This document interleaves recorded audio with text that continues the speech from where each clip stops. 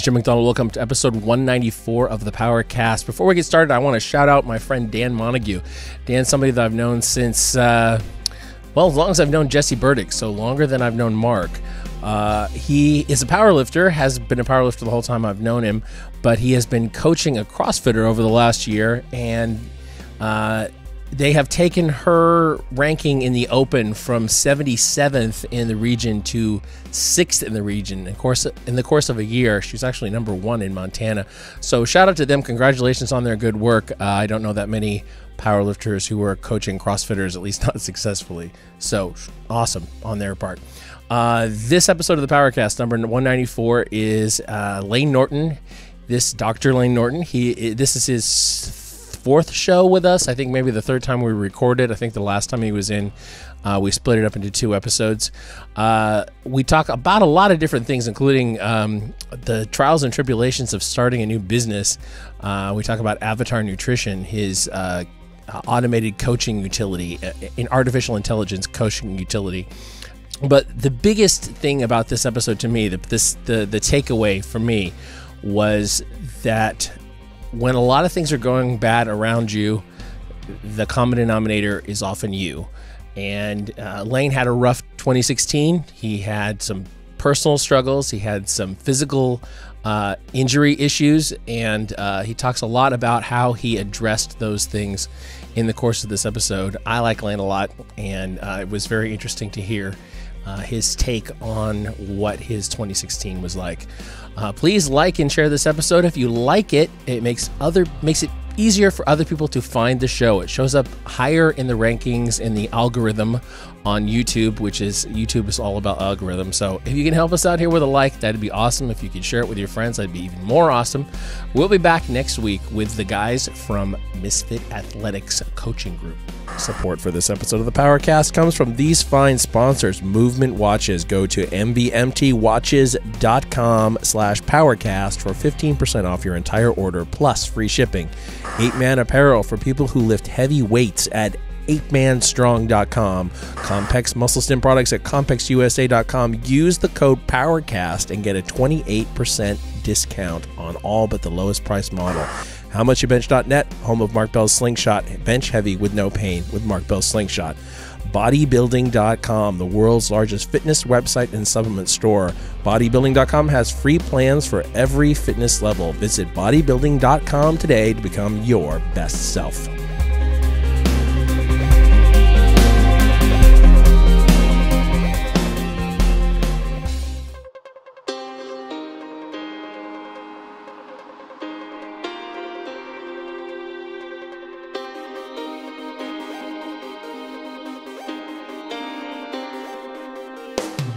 Recorded live in West Sacramento, California, this is Mark Bell's Powercast.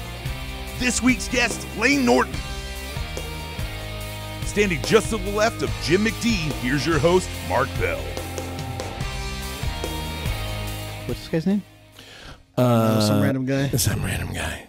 Norton Norton Simon. Norton. Uh, Wade Layne Nordstrom. Nordstrom. Layne, Layne Nordstrom. Layne Nordstrom. Yeah. I just I'm like Tyrion now. You know, you just you take whatever they make fun of you with, and you make it your own, and they can never hurt you with it. You, You know? just roll with so, it. So actually, you know, I respect Matt Ogus. You guys know Matt Ogus? Absolutely. So anytime anybody's said anything negative about Matt, like the half, Half natty, natty, that's the best. Dude best. made so they took it and made tens of thousands of dollars, or not hundreds of thousands of dollars Yeah. with it, right? So Right. how brilliant is that? Like, yeah, I I I, I respect that. Well, you can tell what's going to resonate, right? term. Half natty's perfect. What's that? You can tell what's going to resonate because it's already resonating. Exactly. Exactly. half natty. I think uh, just so people out there understand what we're talking about. He's half natty refers to guys that look like Layne and guys that look like our boy Paul. Wait, which one's half natty and which one's not? Oh yeah. yeah. no, it's just uh yeah, it was a some a uh, somebody a hater threw something out at uh, Matt Ogus. And basically said that he's a fake natty, half natty, blah blah blah, Yeah. and that's how the kind of whole thing got started. I don't know which Matt half. Ogus is fucking jacked. Yeah, which half of him is natty? Is it I- like the left half or the right half, I or don't you know. do Up- top and bottom? up Is top he and still bottom, probably. selling natty to people, or what's he doing now?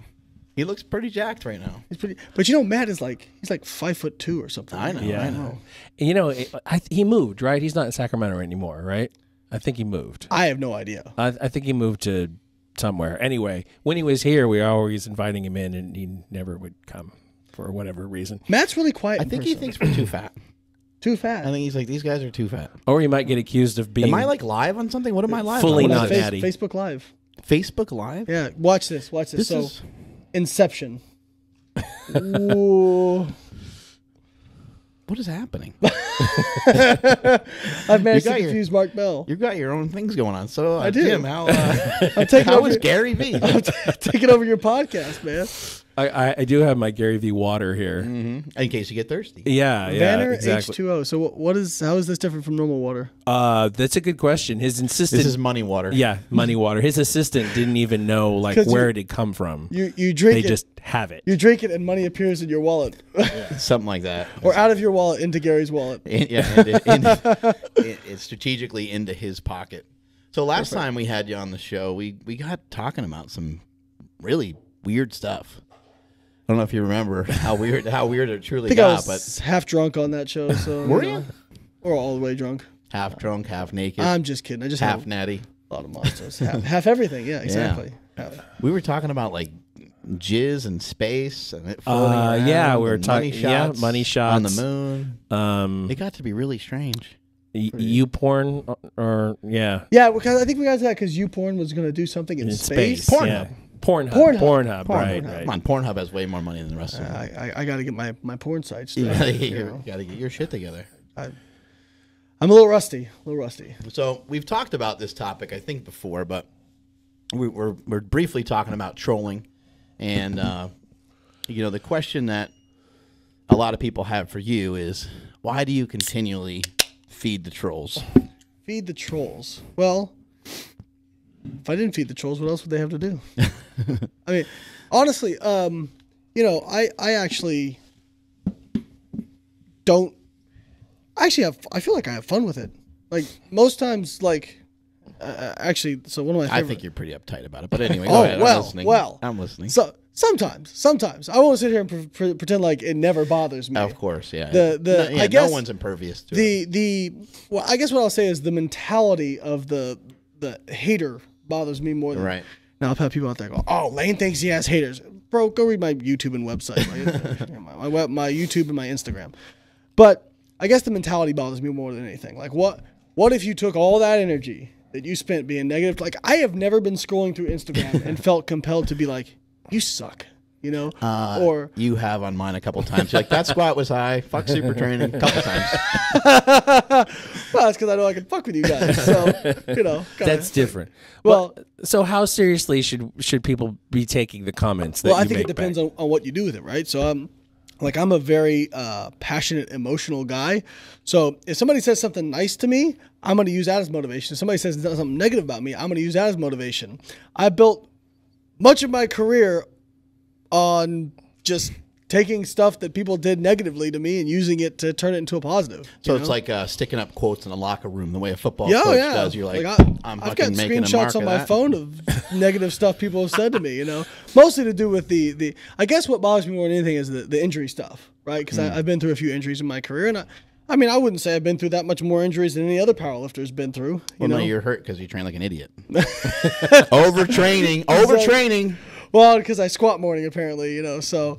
It, it's it's Oh yeah, your it's- poor squat technique. Yes, exactly. That's why you get hurt. So you deserve exact- to get hurt Oh, I because deserve you're to get poor hurt, yes. squat technique. So uh, I guess what I, you know, it's almost like people are are are happy that you got injured. Oh, And yeah, yeah, of course. That I guess that bothers me more than anything because I, I can't think of anybody, even people I really don't like, I really want to get injured. You know what I mean?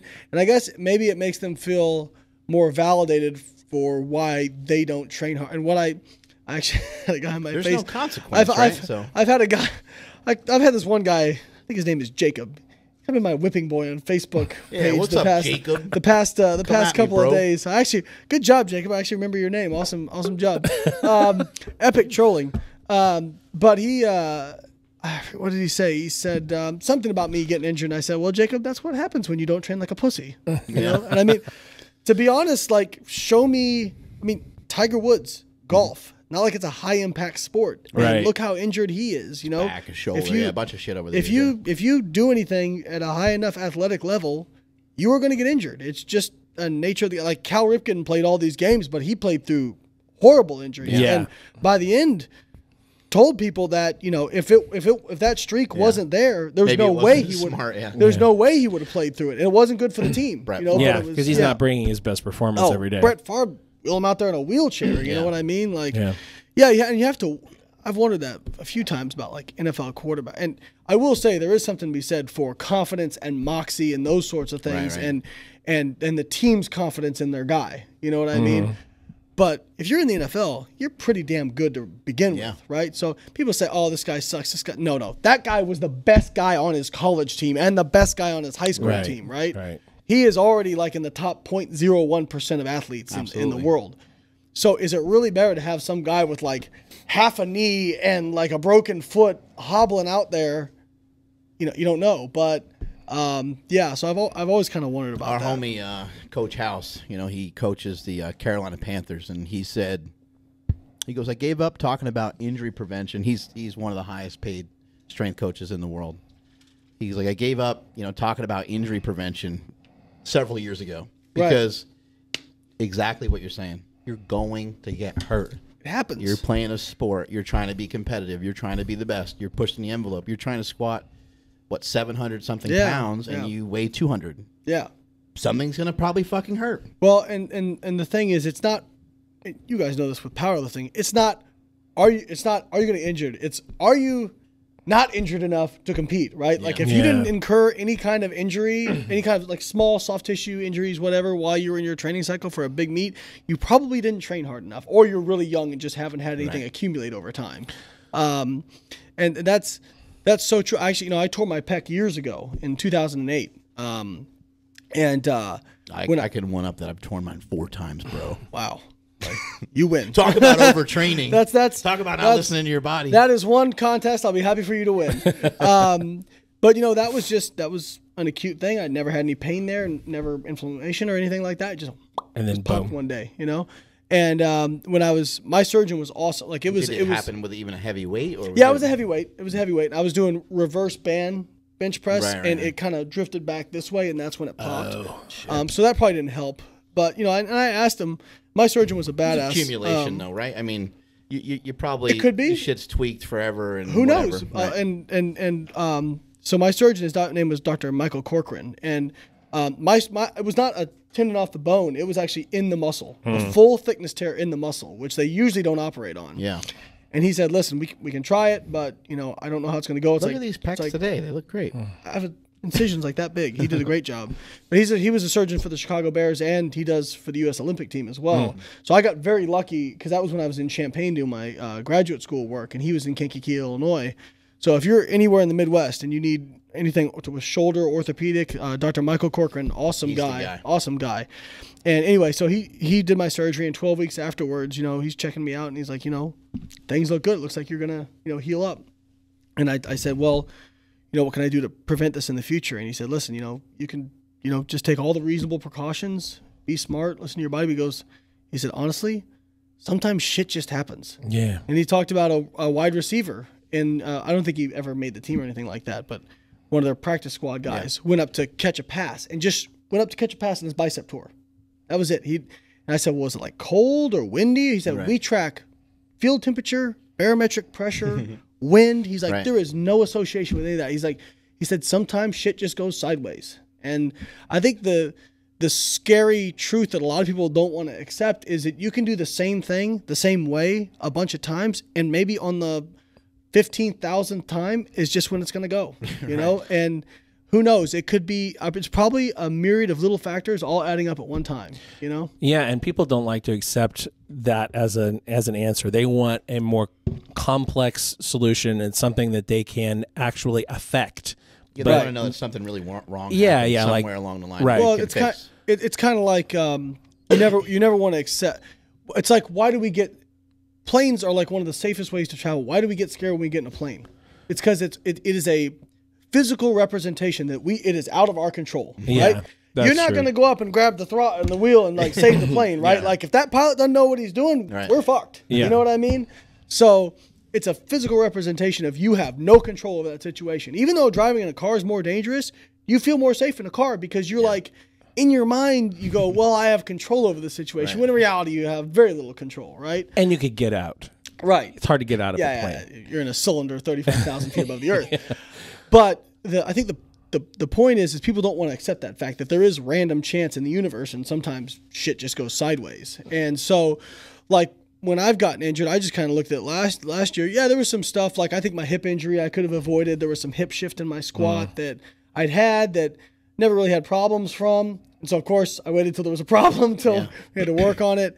Um, but you know, like the the herniated disc that I think that happened in competition at the Arnold in 2015, and uh, you know that was when I tied a world record. And so I mean, it was funny because people go, "Well, was it was it worth it?" Was it worth? Fuck yes, it was worth it. Yeah, Fuck yeah. yes. I, I, I don't even. I broke both my femurs. It was still worth it. You know, like Yeah. I get. You know, it's been broken since then. But I got to set a world record at IPF Worlds on the biggest stage in powerlifting. People go, oh, you know, well, powerlifting's not that big. Well, you know what? It's important to me. Right. So I guess it depends on how severe that gets. You know. Yeah, like I don't Uh, want to die I- from it. Yeah, you know? hurt my hip. I did this. I did that, and it sucked. I was on crutches for a few months, or, or something like that. Like Right. doesn't sound that bad. No. Uh, but yeah, ending up in a hospital bed. That's when you're like, oh, maybe But I didn't make great decisions. Right. It's, it's all about what you value. You know what I mean? Like I don't, I don't, I, I tell this to people. Uh, I've, I've gotten far less judgmental about what people value in their lives because, you know, for example, like I coach people for a living, and for a long time I was kind of like, well, you know, you shouldn't do. You, you should have some balance in your life, and you should do this. And I'm kind of like, you know what? If being, if them staying in Friday and Saturday night and being ripped is what makes them happy, then who the fuck am I to tell maybe them what the how to live their help life? provide you know? balance. Yeah, man, Right, who, I mean- who am I to help tell somebody how they should live their life? You know? Well, yeah, people. my, my dad mentioned to me one time. He said, "Don't feel guilty about liking work. Yeah. yeah. You know, like you might yeah. like work, and he's like, that's okay, and you can just you know make sure you do try to find some sort of balance. Right. Well, I think Eric Helms. Uh, I don't know if you guys know Eric Helms. Absolutely, we yeah, absolutely but, uh, know Eric, podcast. yeah. Okay, yeah. So Eric's a good friend of mine, and I like the way he described balance. And it's like a it's like a tightrope, right? So if you're walking a tightrope, you're gonna and then you're Right. gonna overcorrect this way, right? Right. Right. So um, I think you know at any one point in time you're going to be unbalanced in your life towards something, Right. Right. Like when I was in grad school, I was unbalanced towards grad school. When I was getting ready for bodybuilding shows, I was unbalanced towards bodybuilding. When I was getting ready for IPF Worlds, I was unbalanced towards powerlifting. When my kids were born, I was unbalanced towards the kids, you know. Right. And so um, now I'm in. I'm planning to go back to graduate school in 2018, do a master's in exercise physiology because I don't have enough shit going on anyway. So um, I'll be unbalanced towards that, you know. Right. But on the whole, I think what you want to look back on your life and say, you know what, I spent a good amount of time with my family. I put in work. I had fun. You know, and, and over the course of your life, you're living. I think the life real word that people is, are looking for is, is harmony. You know, it's not Yeah. necessarily like because legitimately trying to like balance and juggle all these things can be really difficult. But to find some sort of happy medium that gives you happiness and gives other people around you happiness is probably what you're in search for. people tend to find the the things that make them feel the best. Yeah. And and the people who are out of balance are the people who can't tell that some aspect is actually hurting them. Yeah. Well, I, I like, you know, I love goal setting, pushing, push, drive, drive, drive, drive, drive. And um, you know, for some people that's stressful to them. They don't Right. they're not happy that way. You know, but like if I don't have some kind of chaos in my life, I'm unhappy. Like I, I, want, I want there to be like Which is- controlled chaos, you know. But I don't like the want noise. Yeah, yeah. Like if I not if I don't have some big ridiculous goal that's scaring the crap out of me, I'm not really I'm unhappy. You know, Which want brings us something back move to the beginning of the conversation. Sometimes you feel a little bit too settled and you got to stir up some shit on the internet. Yeah, well, so so with the trolls, with, with that kind of stuff, it's. I was actually going to say, what was our question again? um, so, uh, with, with regards to that, um, you know, one of my favorite stories. I, I do like to have fun with it, and I never argue with people for their benefit. I'm arguing for the benefit of people watching, because I think you're never going to change the opinion of somebody you're in a debate with, but you're doing it for the benefit of other people watching, right? So there was this this is back in 2010 i was prepping for shows for bodybuilding shows. And i did real well. You know I, I got top five at all those natural pro shows. I even managed to win one. And um, but there was this there was this thread on on on bodybuilding.com i remember this this is the most epic thing i've ever done in my life i'm pretty sure um, and it was what the fuck is up with this layne norton faggotry was the name of the was the I name of the remember, I thread remember Yeah. that. You Yeah, I remember this? Yeah. So- well, I remember you talking about it. Yeah. so so so and i That's thought the title I thought- of today's and you know- podcast. Layne Norton faggotry. Um, Faggotry. faggotry. Great. Is that a word? It's great. Apparently, It it, is became on the a word. internet, Yeah, yeah. Now so my favorite word. so it, that it's quite a it's quite a combination right there. So I went on there. You know, it's, it's a young guy, early twenties. He looks pretty good, you know. Yeah. But it's like one of those things. Like if you've never been on a bodybuilding stage, you don't understand how harsh those lights are. Yeah. How absolutely shredded you have to be. Anyone can And flex and take a half and he's decent like, picture. yeah, and he's training in a a, he's got the overhead lighting in the mirror, and he's like flexing one trap, and you know, it's like, all right, guy, like Yeah. you look You're not pretty good, but on a bodybuilding exactly. So, and I'm just reading him going off about how much, how terrible I am, and why am I such a big deal, and this and that, and I, I thought, you know what? Why don't you put your fucking money where your mouth is, you know? So I just, I just was like, listen. If you're such a bad dude, you just this should be easy for you because you're such a bad dude. So why don't you go in your natural pro card? It Should be easy for you go do this. I'm going to be up in your area doing a natural pro show. I'll pay for your entry fee, your polygraph fee. Uh, I'll and I'll give you five hundred dollars cash if you win. And he's like, and he, immediately the backtracking starts, right? Well, And he's he's like, well, you know, that's not enough money to justify me to stop bulking because I'm going to be a big deal in this industry. By the way, everybody who said I get this all the time. People like, I'm going to come and I'm going to beat you this thing and this that. Nobody's ever done Nobody it. You know? ever no, does that. nobody ever. And I so he so he starts backing up. I'm like, fine, bro.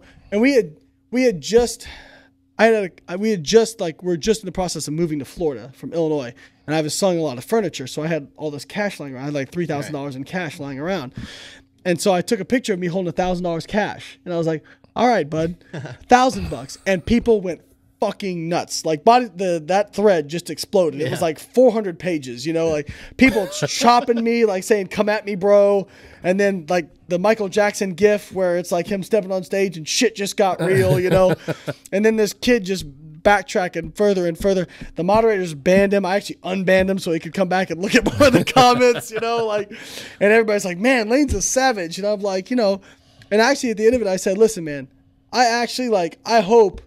that you're able to do these things that you're talking about. Because my guess is if you do, you're gonna have to change your shitty attitude in a way to get there. Mm. You know, because listen, there there are some people out there who've had success being jackasses and acting that way. But a, hell of a lot more people is like how how me and Mark and everybody else is, right? Like you like when I see Mark out around. when I see Mark out killing it, he's got a new Slanger mobile. Like I I'm not like fuck that guy. I'm like, that's awesome. Like good for that guy. Like fucking crush it, you know? Right. That's that's. I feel like rising tide floats all ships, you Yeah, know. So I'm not sit, I'm not sitting there looking at other people like. I'm sitting there thinking, you know, like what could I do better? You know? Envy is okay as motivation. Yeah. If yeah. it turns into like you know some turns into something dark, then Yeah. Well, and like I look at all this stuff and I start like I had uh, somebody the other day was telling me I, I forget who it was, but they're like, look at all the trends that you were. I don't want to say started because I don't think it's the right word, but a big part of like Right. flexible dieting, natural bodybuilding, natural been bodybuilding, going to going Yeah. to In the very powerlifting Yeah. stages of it, um, it helped you know, it online coaching, all this kind of stuff. And now, like, I've got this uh, automated coaching, Avatar Nutrition, that I put together, and um, it's you know now we've got other people copying that, and that's. But I'm like, they're like, you should really should be worth like 10, 20 million dollars. And I'm like, go on. stop saying that. So I'm thinking, I'm thinking, you know, and I listen. I've done well. I came from a lower middle class family. Like I, I'm very happy with what I what I've done. Like it was never, you know, yes, I like making money. I'm never going to sit here and say that money isn't any kind of motivation. Right. But it's more about what the figure represents, like what you've done. You hmm. know. So and you when I can't- when I and look you at also other, can't mo- you can't monetize every situation. You know, you can't you can't like monopolize and, and, and make money off of every No. little thing. You know, it's No, just and- not possible. No, and and you know, I I I remember when I when I I was kind of one of the first people to really popularize online coaching in that like I did on a large scale and people heard about it. And a lot of people I work with went on to become really successful coaches like Paul, Alberto Nunez, Yeah. Eric, like Right. a lot of those guys, you know. And I had a lot of people tell me, does that doesn't that bother you? I said, no, like I feel like Bill Belichick with his coordinators going off and getting And- and head also- coaching jobs, right. you know, makes me look good. There's a lot of people who have done a lot of great things for this world, and they haven't received a penny for it. right. and nobody knows who their name is a lot of times. But you know, the original guy that made the internet, that made the World Wide Web, Right. he could have very easily trademarked that, TM'd it, fucking Yeah. patented it, and he could have been like, "This shit's mine. Yeah. I'm gonna monopolize this space." Huh. But what did he do? Gave it away. He allowed everybody to use it. Yeah. Like, thank fucking God, Right. right? Made the Because now we're all able to make money. You got products you're selling yeah online. Yeah. ebooks, online coaching, Yeah. the whole thing. Yeah, I mean, I really like you know, I, it was a great time to be alive. It is. It's a great time to be alive. You know, people people talk about how bad things are nowadays and all this kind of stuff. You know, we live in the least violent society in the history of mankind. Like you would Uh, you never know know, it watching the news. You know. Yeah. My most hated word is when I hear people they continually say that they're grinding. like we're not grind. Like if you if you have a job, Bro, you woke up in a fluffy bed and you went and got You- coffee after pressing a button. You You, made know, a fucking text and you put up a couple posts on social media. You're not grinding. Like grinding is when you're like out shoveling snow and shit. Like you shoveled snow. yeah, yes, You yes. shoveled snow, Yeah. shoveling, you know, digging a fucking ditch and all that shit. That's grinding. Yeah, Uh, we have it pretty fucking easy pretty nowadays. good, pretty good. Yeah, and you know, it's. I think all of us are guilty at certain times of, Oh, of yeah. kind of Oh, going, yeah. "Oh man, this is tough." yeah. Of course. and um, Well, everybody has their own level of, of too much stuff. I try you not know. to be that guy, but We, it we, we- happens. you know what bothers me? I, I did like an Insta story about this a while back, and, and and we have a lot of this in the fitness industry, and that's false hustle. People talk about hustle, Mm-hmm. like you don't know about fucking hustle. Like these people, and a lot of them is the the guy guys and gals who they have great physiques, Right. But they're they're not making the big bucks. They don't understand why. It's like, bro, like I can go down to fucking 24 hour fitness and find a guy with a physique just as good as yours. Right. To the average person is not going to know the difference. Maybe you beat him on stage, Well- but the average person isn't going to know the difference. And along right? those same Yeah. terms, you can find a strong motherfucker at your local gym that, that Absolutely. can rival a lot of great powerlifters. Of course, yeah. Every every single gym, well, not every single gym, but I think most gyms out there probably got somebody who bench presses more than me at them. They you know? probably have someone that benches close to five. They probably have someone that deadlifts around seven. Yeah. The squat Yeah. might be kind of the hard one to find somebody Right, who's right. really proficient at that. But Right. And so, like, you know, like, I remember I used to get a lot of uh, hate from from some other natural bodybuilders because, like, well, what's the big deal with this guy? Like, I look better than him. It's like, all right, well, did you make hundred thousand posts on various message boards over the last? Did you answer two hundred fifty thousand emails over the last fifteen years? Did you? Give away all this free information. Right. Did you offer to write for every little rinky dink magazine for free? Right. Like, did you write hundreds of articles for like do all these videos? No, you didn't do that. So don't tell me that you're hustling. Like you went to the gym for an hour and a half, bud. right. Wow, and you cooked food. Yeah. Something you have to do anyway. Yeah. you know, Things like are very accelerated nowadays. So what what took 15 years to build or 10 years to build now can take a year, Right. Two years or three years. But still, it doesn't mean that you have that pedigree behind you of all those Mm-hmm. hard years. Like you still need.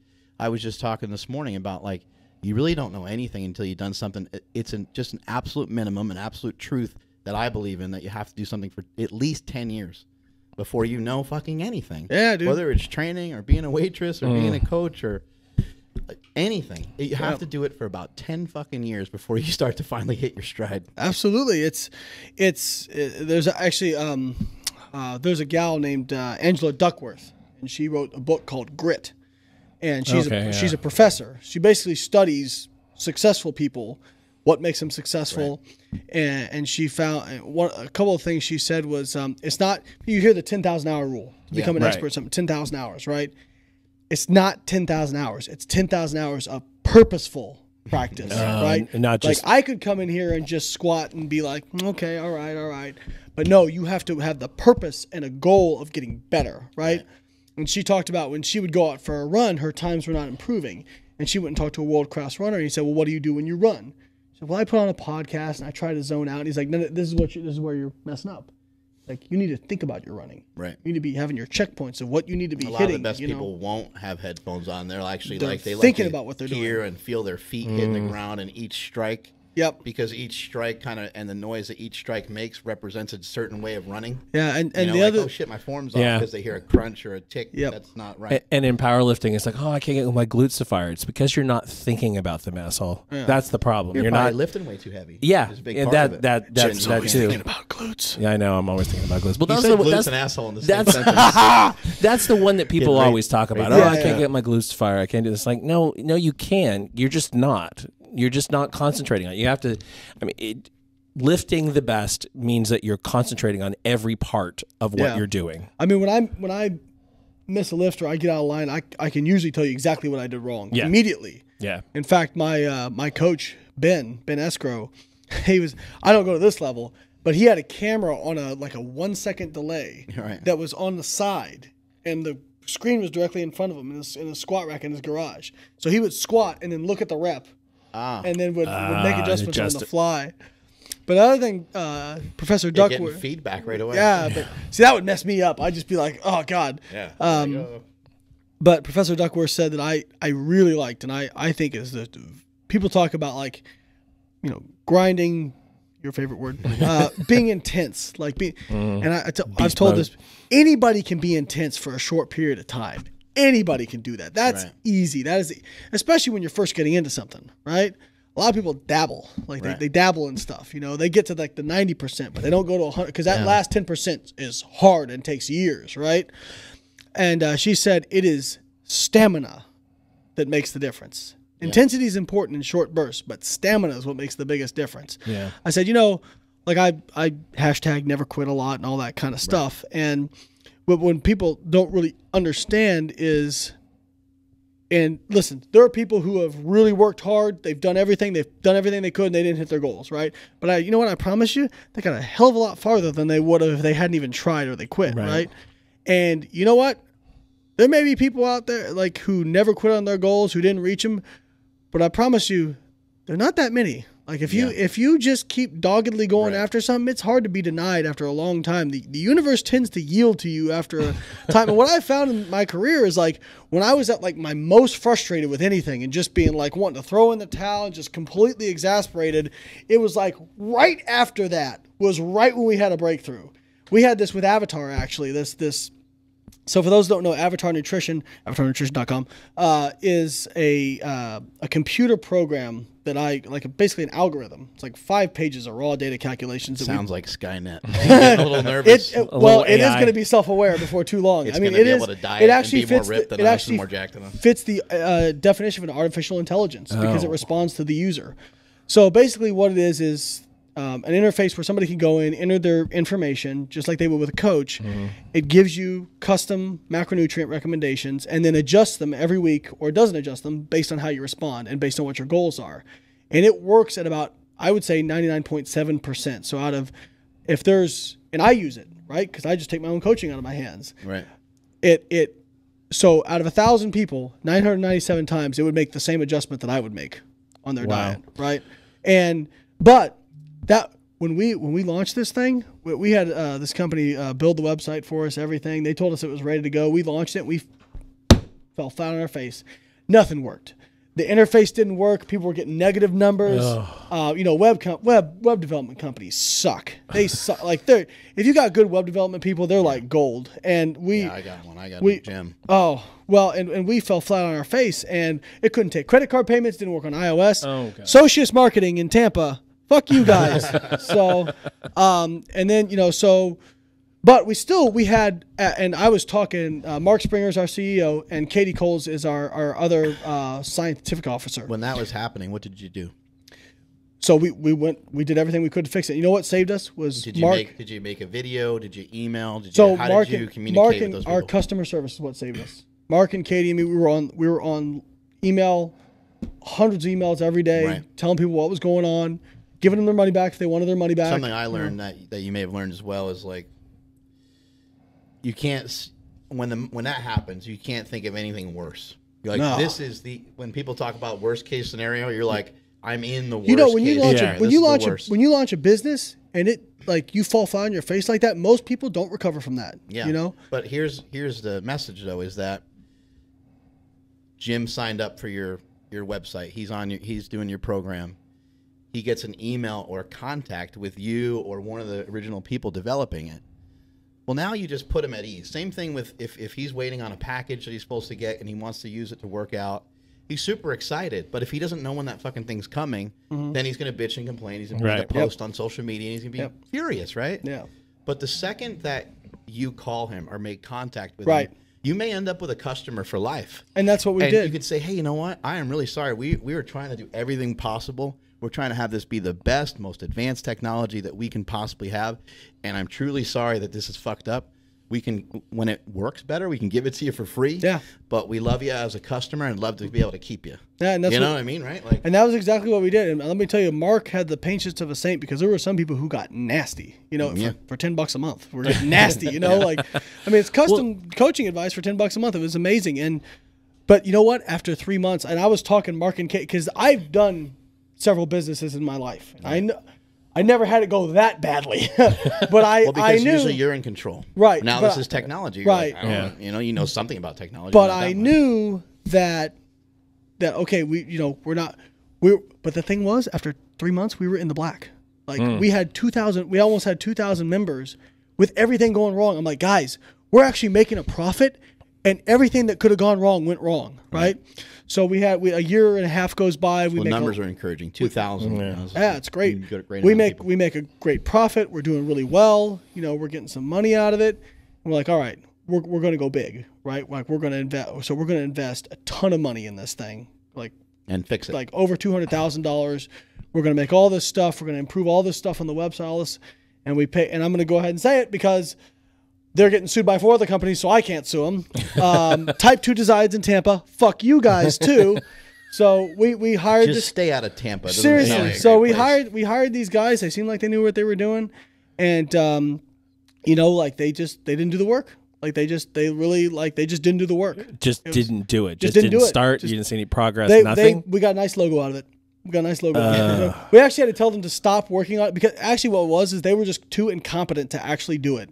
They were they were messing so they up, oversold. they were messing up our back end. Like they were actually doing development on the live website. That's Oh. when we took control of it. Because I mean, you have a dev site, you Right, know, right. And we took control of it and said, "Don't touch it again." You know, like please just go away. And um, you know, but you know what? We look we looked at that as like we're like, all right. So now we're we're we're like we're gonna hire our own people. We're gonna interview them. We're gonna make sure they know what they're doing. You know, we needed a CIO. We needed somebody who had a tech background. We it's a mistake. We learn from our mistakes, right? So we're doing that. We're going to do all the stuff to the website. And, but you know what? We could have sat there and wallowed and said, man, like, we look how much money we wasted, mm. all this kind of stuff. You know what we did? We doubled down. We put more into the customer service. We put more into making sure the algorithm was even better, just worked. You know, Right. so so what if we don't have the fanciest website out there? The algorithm works great. And now and since that's happened, we've almost we've doubled our members. And we're growing right now at over 100 members a day. Right. So That's great. It's it's one of those things where And we're as you grow and expand, you know what's going to happen? You're going to feel that same exact pain again. And you got to have Yep. the longevity and the stamina to survive that too. Well, and you know- it just happens in cycles. That's just what happens. And what I told them, because like you know, Mark and Katie were really angry because they'd never gone through anything like that, and they're like, "Well, let's sue the crap out of them, this and that." And I, I understand that. A lot I, of I've, I've been in, energy and I've been in this lawsuit, and I said, "Listen, here's here's the deal. It's hard to get paid. People, oh, sue somebody. It is so hard to get paid in lawsuits. The people who get paid are the lawyers. yeah. takes your energy, your stress. I said, let's just invest Stress. and and the time, like the money you spend on your attorneys and everything, which theoretically you can get back, but you know. So I said, let's just take all that and dump it into the company, and just you know, as Frank Sinatra said, the best revenge is massive success. You know, and success has like a really cathartic effect, on, at least on me. Like uh, I remember, you know, I got picked on growing up a lot in high school, right? That's- I, wouldn't see that coming. yeah, right. This guy, no way, he's a nerd, right? Like, make America Science again. Not a nerd. Um, available on shopbiolayne.com. Uh, so I, I got picked on a lot, and I remember I got a message after I, you know, kind of started my own business and been pretty successful with coaching and was doing well and moved to Florida and kind of living the dream, you know. And uh, it was a girl from my high school class who was really popular, but it always treated me very nice. She never was mean or anything like that. She said, I love every time you do something great because it's just you must just want to stick it to the people who who were and I said and I I thought about it I'm like you know what once I got to that point I just didn't care anymore Yeah. like I just didn't it had like a cathartic healing process you know because it was like what why you know Too like, far in Well, your rearview and you mirror. Yeah. also you also make enough noise to where it's unnecessary to say anything. Yeah You don't have to. You don't have to go up to them and be like, "I told you so." Yeah, exactly. I told you. I exactly. Kicking ass. You know, yeah. Like I've heard Tom Brady say the same thing, where You know, he wasn't even the starting quarterback at Michigan, is selected in the sixth round. And they asked him that same question, like, do you feel like you need to go back and, and tell these guys, like, I told you so? He's like, I don't have to. No, he already told him. Yeah. He already told him five times. Yes, you know, that's like I, right. I, Yeah. I, you know, Oh, I saw I'm, your post about Tom Brady too. I'm a, That was uh, the the Insta story. Uh, I'm not sure it was on your. I, I know you posted something I did a video, about. I think. Yeah. You posted something about. Yeah, it was your Insta story. Yeah. Yeah, You, so you, I- you just talked about how he's great and like you're not necessarily a Patriots fan, but No, I'm, I'm a Colts fan, so I hate the Patriots, you know. But I fucking love to, like I love that because you know what, and he how plays. can you with- not appreciate greatness? he plays with a chip on his shoulder too. Yeah. like Yeah. he he may say he don't want to go back and get, and that's true. Yeah. But when he needs to dig down for a little bit deeper, I promise you, he remembers that he was Yeah. picked at the There's last pick other, in the uh, sixth round. You Yeah. know, There's two other great quotes from him that I really like. You know, someone asked him, you know, why he plays so hard, why he practices so hard, and why he's, you know, staying after practice and doing all these extra things. And he said, uh, because because he doesn't he doesn't know if he's going to be the starting quarterback.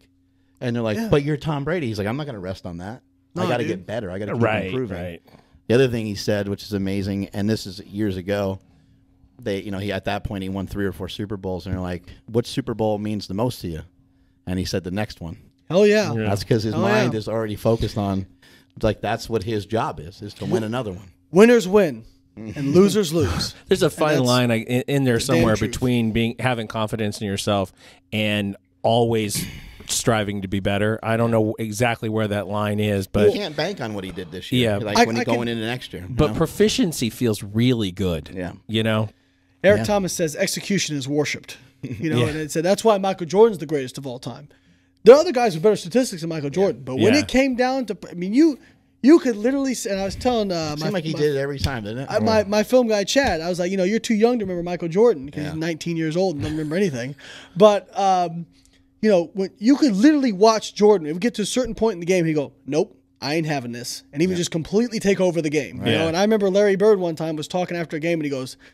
That was God dressed up, disguised as Michael Jordan. You know, like because execution is worship. That's why he's the greatest of all time. Yeah. Because he had 103 degree fever or whatever it was. He still went out and scored 40 points. Like it just it just didn't matter. Winners win. You know, it's just it's there's something about that and when you're young, I remember I was telling somebody about this. You just have this impression that like some people are just better at other things, right? You, work ethic doesn't really enter your mind, right? You're just like, well, Billy's really good at baseball. I'm not good at baseball.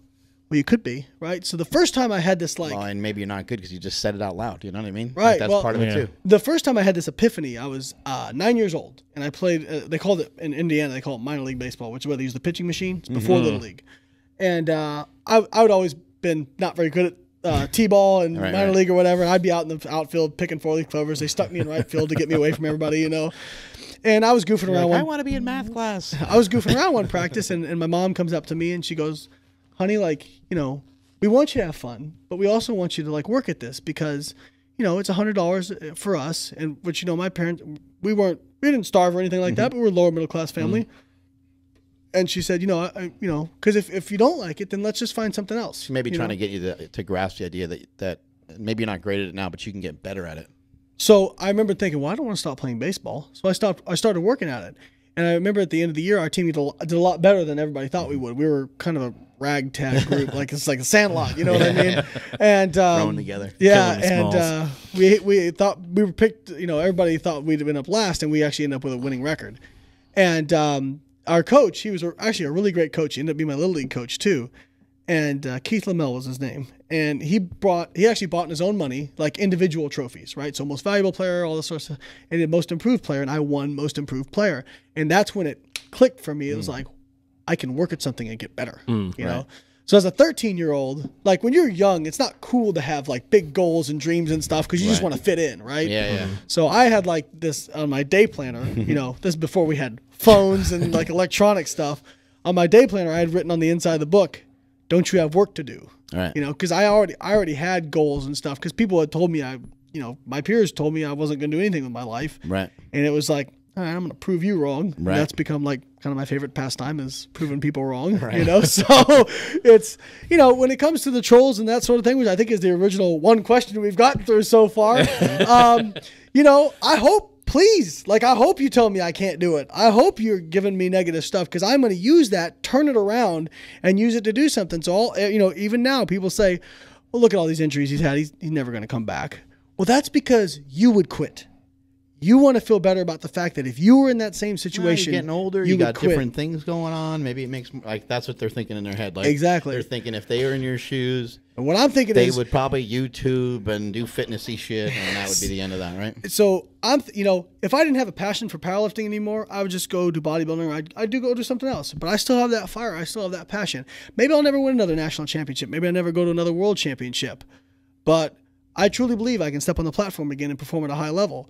And so, you know what? And if and if it's impossible, then we'll find out if it's impossible. Right. But you never know if you don't try. Right. And you know, I tell I tell people I'm like, when you tell me I can't do it, or you make fun of me, or, or whatever it is, and you think it's funny, you have no idea how make how e- easy that makes it for me. Like Right. I am not going to get tired. Like I don't get tired because I I think about all those negative things, or anytime you know anybody's done something bad to me. It's your or, fuel. Yeah, I mean, it's I'm gonna take anything. uh, If you give me something positive, I'll use it as motivation. But if you give me something negative, I will turn it around and I will use it as motivation as well. Yeah, Gary V. Uh, So I love trolls. talked about that kind of stuff. Bring uh, it. being uh, oxygen. You know, it's, Yeah. it's oxygen Yeah, for him. exactly. Fuel the fire. That's what he And said. even while Jim and I were interviewing him, he just, you know, he just lit up after a while. After we got like five, ten minutes into it, he just, you could see him actually physically getting like energized, and he Yeah. got more and more into it as we, as we went along. Um, What do you think the biggest changes have been in powerlifting in the time that we've been involved in it together? there's been some huge changes in powerlifting. I think, uh, you know, one thing that I'm kind of noticing is that, uh, you know, people not only want to lift really well, um, but they also want to look good too. So it's like lift good, look good. It's kind of a whole thing now. Yeah, no kidding. Like matching outfits and stuff like that, and and and and uh, hipster haircuts and and uh, uh, pour over coffee. Like our boy and, Fat Dan with the special. uh, I got a pour over right here. Yeah, there you go. Yeah. Well, um, you know, not every powerlifter has a lot of money, and uh, wearing a nice watch with your outfit is a is always a good move uh, in in the gym, in the club, whatever. You yeah, know. movement watches came along at a great time because I don't wear a watch, and Right. I've been I've been searching for watches for a while. So uh, this is something I think is going to fit me well. And uh, the wifey's always like, "You should get a watch. You should get something that looks nice." And so these guys uh, are stepping their foot into powerlifting, and that's how we got hooked up with them in the first place. So Right. I think it's uh, I think it's great that they're spending some time and spending some money in our space. Me too. Um, I actually like this watch a lot. I'm kind of a watch nut. I don't wear them all the time, but in part because you know, like you spend a lot of money on a watch and then you get it banged up. Yeah. You know, you get the, crystal scratched or whatever, and you're like, "Fuck! I spent a bunch of money on this." It's one more thing to be responsible for, right? Like a, like a nice pair of sunglasses. too, right? Exactly, exactly. Uh, Powercast is proud to be teamed up with Movement Watches. We've got some really good looking watches for you to choose from with really good prices. Uh, Movement Watches started at just about ninety five bucks uh, at a department store. You're looking about four or five hundred bucks for a similar looking watch. Uh, these are nice and heavy too. great price. Yeah, it's awesome. Um, Movement figured out by selling by selling online, they were able to cut out the middleman and retail markup. And actually, a lot of people figured that out, and that's a that's a business model that Right. is paying off for everybody right now. Uh, very classic design, uh, quality construction, and. Uh, their term styled minimalism, and I guess that I understand that that's what it, I understand what that means. It's not they're not really you know garish watches. They're not big nasty. Yeah, you it's not a huge uh, clock on your wrist. Right, exactly. It's a watch. It's a watch. it's a watch. yeah, I noticed too. You know, with uh, you know, even with with our brand, the way that we started, and and the look is is crucial. You Yeah. know, having a sleek, clean look is crucial, and uh, you know this from you know being here at Super Training Gym from the very beginning. Is we started off much louder, Right. and we've scaled things back a lot. And turning these, the volume down. Yeah, these watches kind of represent that too, where where it's got a good, clean, sleek look to it. absolutely. Get 15% off today with free shipping and free returns by going to movementwatches.com slash powercast. Uh, this watch, obviously, we said is really, really clean design. And when we opened them in the in the office, people were like, wow, I mean, Yeah. how much was that watch? Yeah, it's gonna it's gonna draw in the ladies. That we know that for sure. this is true. So go to movementwatches.com slash powercast. Join the movement. Get your 15% off your free shipping and free returns. Join the movement. Thank you very much. Um, I know that uh, 16 was a rough year for you. I think in 2015, I think you did you win USAPL Nationals, Yep. correct? Yep. And then you got silver At Worlds. at Yep. at Worlds, and then whammo, something went in your back or something like that. A couple months later. So I so 2014 won nationals, went to Worlds in 2015 the following year. Gotcha. Actually went on quite a good run. So I won nationals, won the Arnold, went to Worlds, got second. You know, got second to Christoph, which actually we were talking about Yeah, like something to point out. I mean, eh, there's there's not necessarily a, a quote unquote Super Bowl to powerlifting, but if there is one, it's Worlds. it's IPF Worlds. and and uh, the competition level is through the fucking roof. There's nothing that, in my opinion, there's nothing that compares. And I know that there's other guys lifting enormous weights in other federations, but it's very scattered. Right. You got this guy, you know, squatting Top a to bottom, one you get this through guy 20. squatting a grand, and then the guy behind him squatting 600. Right. And it's just it's different, right? The, these meets that they have at uh, IPF Worlds, together. I would say from 181 pounds and and just from the 181 pound class, you're you're seeing people deadlift around 700. oh yeah. You're seeing squatters squatting close to 700. Look at John Haack. He Yeah. squatted 657 at, one, at 183 pounds, you know? Like and he's Yeah. what, 23? These people know? are moving some uh, unbelievable weights, and it's only gotten better. And you got Ray Williams who's in there, and, and a bunch of other monsters. I mean, You know, just pushing side side note, the most viral thing I've ever had go on my social media was on my Facebook. I was Oh, uh, while while Ray Williams was squatting at nationals for the first you know thousand pound Mm-hmm. squat in USAPL history. It's on my laptop. I got my laptop pulled up and I just start filming on my phone. I start commentating and cursing and like going nuts. Mm-hmm. It reached three million people and has almost a million views. Wow. Like it just went complete. And I, I'm like, how does that like? But you know, Big Ray's fun to watch though, man. He is fun to watch. I think we actually watched that with him. Oh really? Yeah, Yeah. yeah, when we had him on. So uh, watch that video. Yeah, yeah, Oh really? so, yeah. yeah. So I mean, it's Oh, he walks it out and he like looks at Oh, the yeah. judge and he's Oh, like, yeah, yeah, and then he's talking as And he he's does the- going, and afterwards, you know, Yeah. and man, his back is so wide. Like he, he's he's a, he's a cool dude. And, you know, he, uh, but top to bottom, like one through twenty, is crazy. Yeah. it's crazy deep. You know, Uh, like even in- just to even just to get there, it's fucking really hard. well, you know, you can psych yourself out because I remember when I was backstage at Worlds thinking. Every single one of these dudes is a national champion in their country. right? you can get psyched out pretty quick thinking about that, you know? And I just remember thinking, actually, one of the best pieces of motivation I ever got was from Matt Gary. Do you guys know Matt Gary? So, Yeah, he's, uh, head of uh, the U.S. coaching committee. Eight programs for everybody and stuff like that. Yeah. Um, Probably the best meet day coach out there in terms of attempt selection.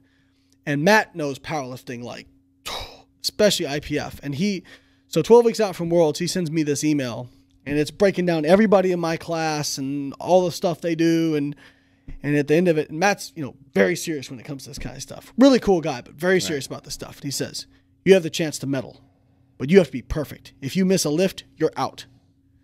And um, and he said, and at the end he goes, train like your life depends on it. I said, oh, don't, don't tell me that. Like, don't tell Layne that, you know. So, I mean, that's what I did. Like, I remember I had some four-hour sessions by the end, you know, before before Worlds, but I wanted that bad, man, because I knew I was like right there. And I'd never gone nine for nine before at a meet. That was my first time I ever went nine for nine was at Worlds. And um, so, you know, like I didn't win, but I did the best I could have done. Like I'm not gonna Yeah. pull, I'm not gonna put hundred pounds on my deadlift and challenge Christoph. It's just unless he just bombs out of the meet, I'm just not gonna beat him. Like in powerlifting, you are what you are. Like I always chuckle at these guys who think they're just gonna pull a 50 pound PR out of their ass on meet day. Like Right. you are what you are. Well, you kind of back to what you're saying earlier about you know like your your baseball story about getting better. Now there, now we all possess the ability to get better, of course. but we all also start out a certain way. Of course. And so sometimes in here we'll have somebody that might come through the door, and their squat is 200 pounds. Right. That person that squats 200 pounds, I'm not saying that they never possess the ability to uh, get into these huger numbers, but it's probably better for them to focus on something where they're stronger. You know what I mean? Like Yeah. they, they do possess the ability to get better, and they could squat 300, they could double it, and maybe possibly triple it. But for that person to get to like 900 or some of these other, tough. or even for yourself, like if you said I'm gonna fucking squat 900 pounds, it would take such a crazy commitment of you uh, making so many changes through your life. Yeah.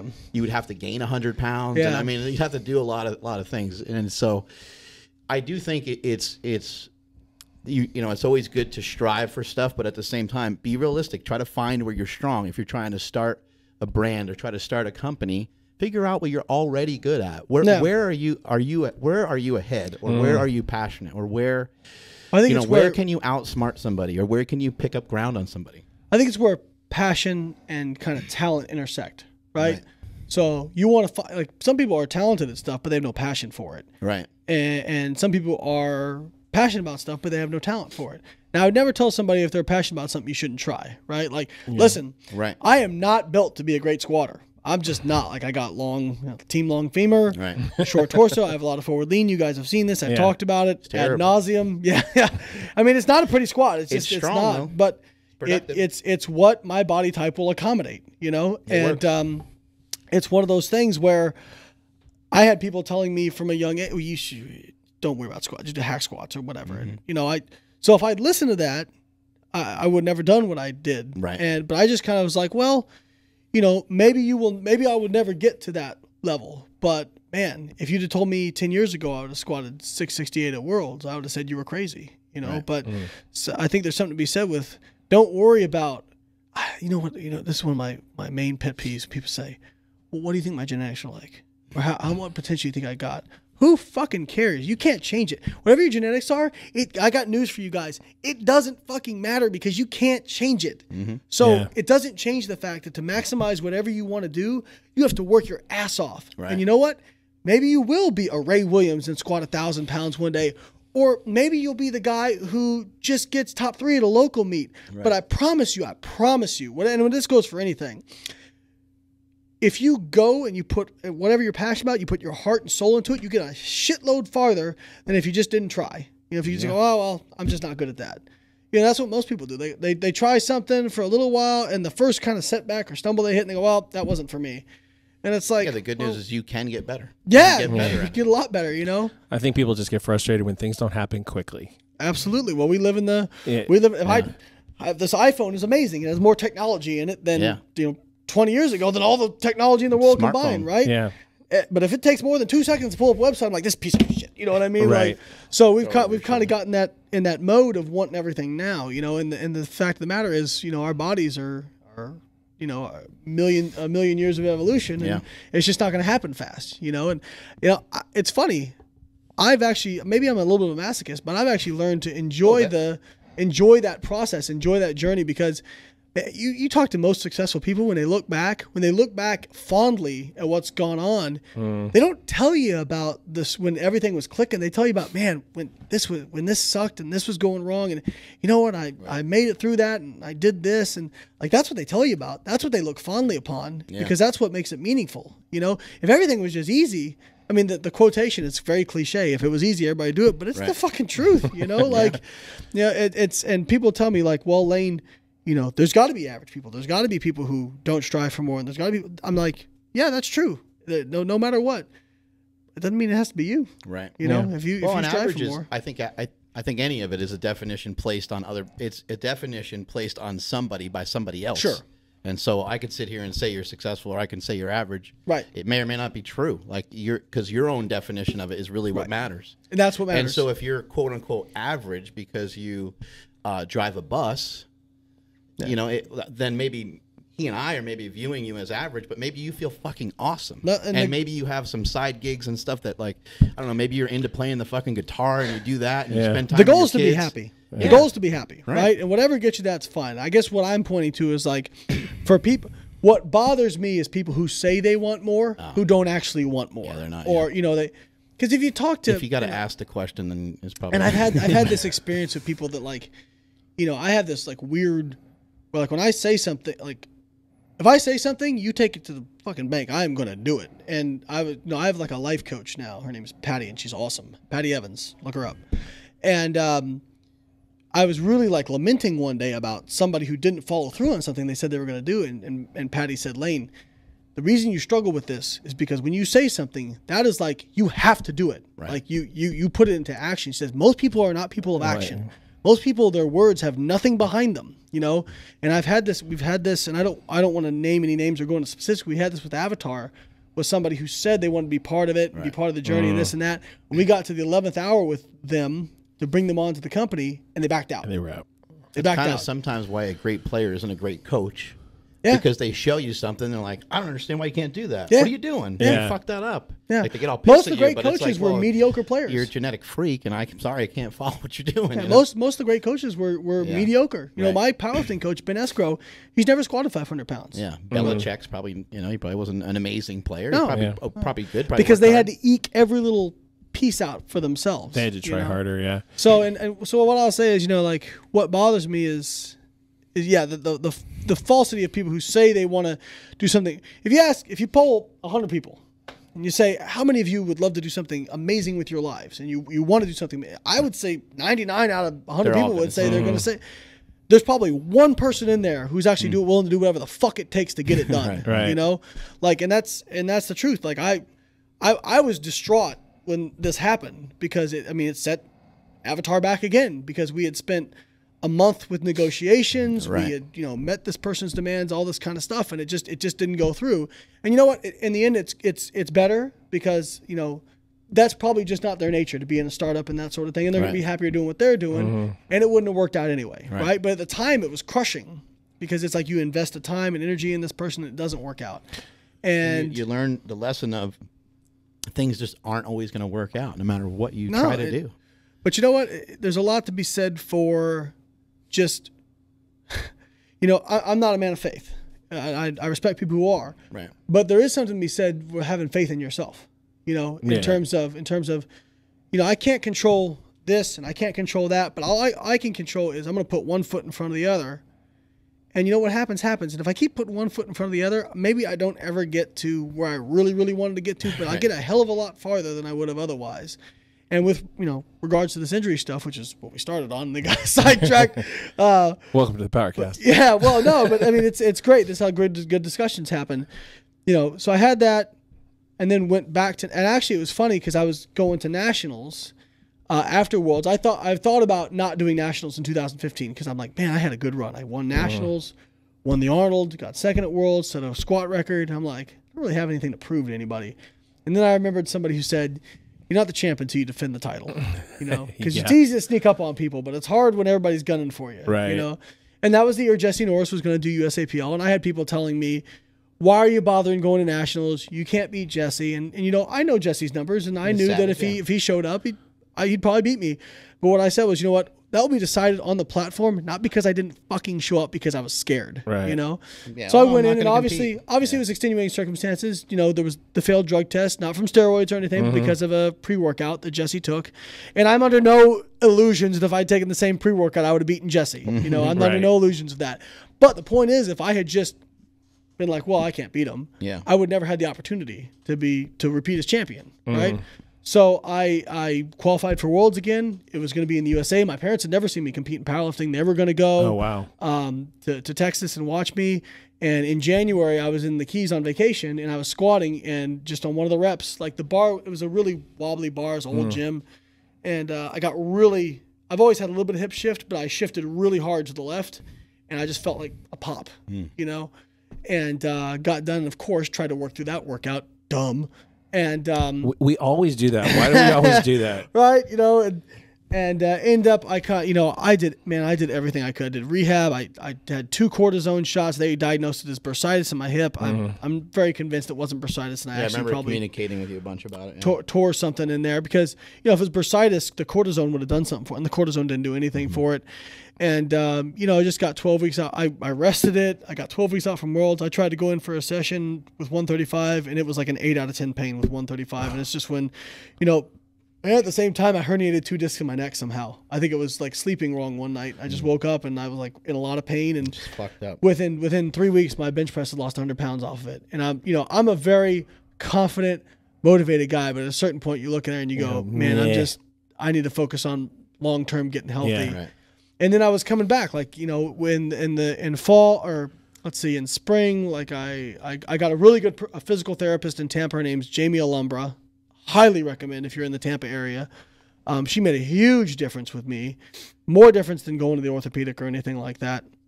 And within a, a couple months of going to her, in like April May, I was back to squatting again with with no pain.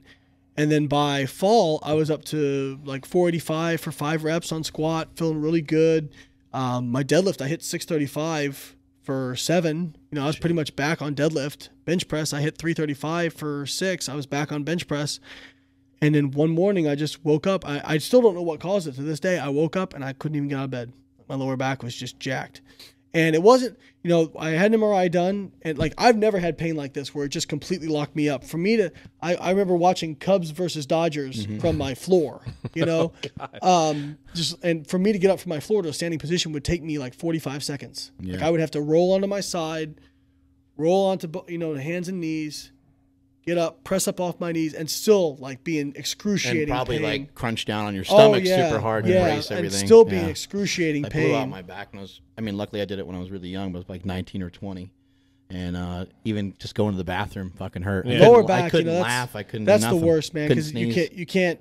There's nothing you can do, you know, and I, you know, and it was so frustrating because it was like I was coming back, like it's coming, and then it went all the way back down, Mm-hmm. all the way back to, to the beginning, you know, and there was a, there was a moment there it was like maybe maybe this maybe they are right, maybe this isn't for me, you know, and uh, How you know, much Sisyphus do I want to be? yeah. So, you know, me and Jamie got back to work. Uh, I, I contacted Dr. Stuart McGill in Canada. Oh, yeah. uh, I got an MRI done, and I had a herniated disc between L2 L3, which is a weird injury for powerlifting.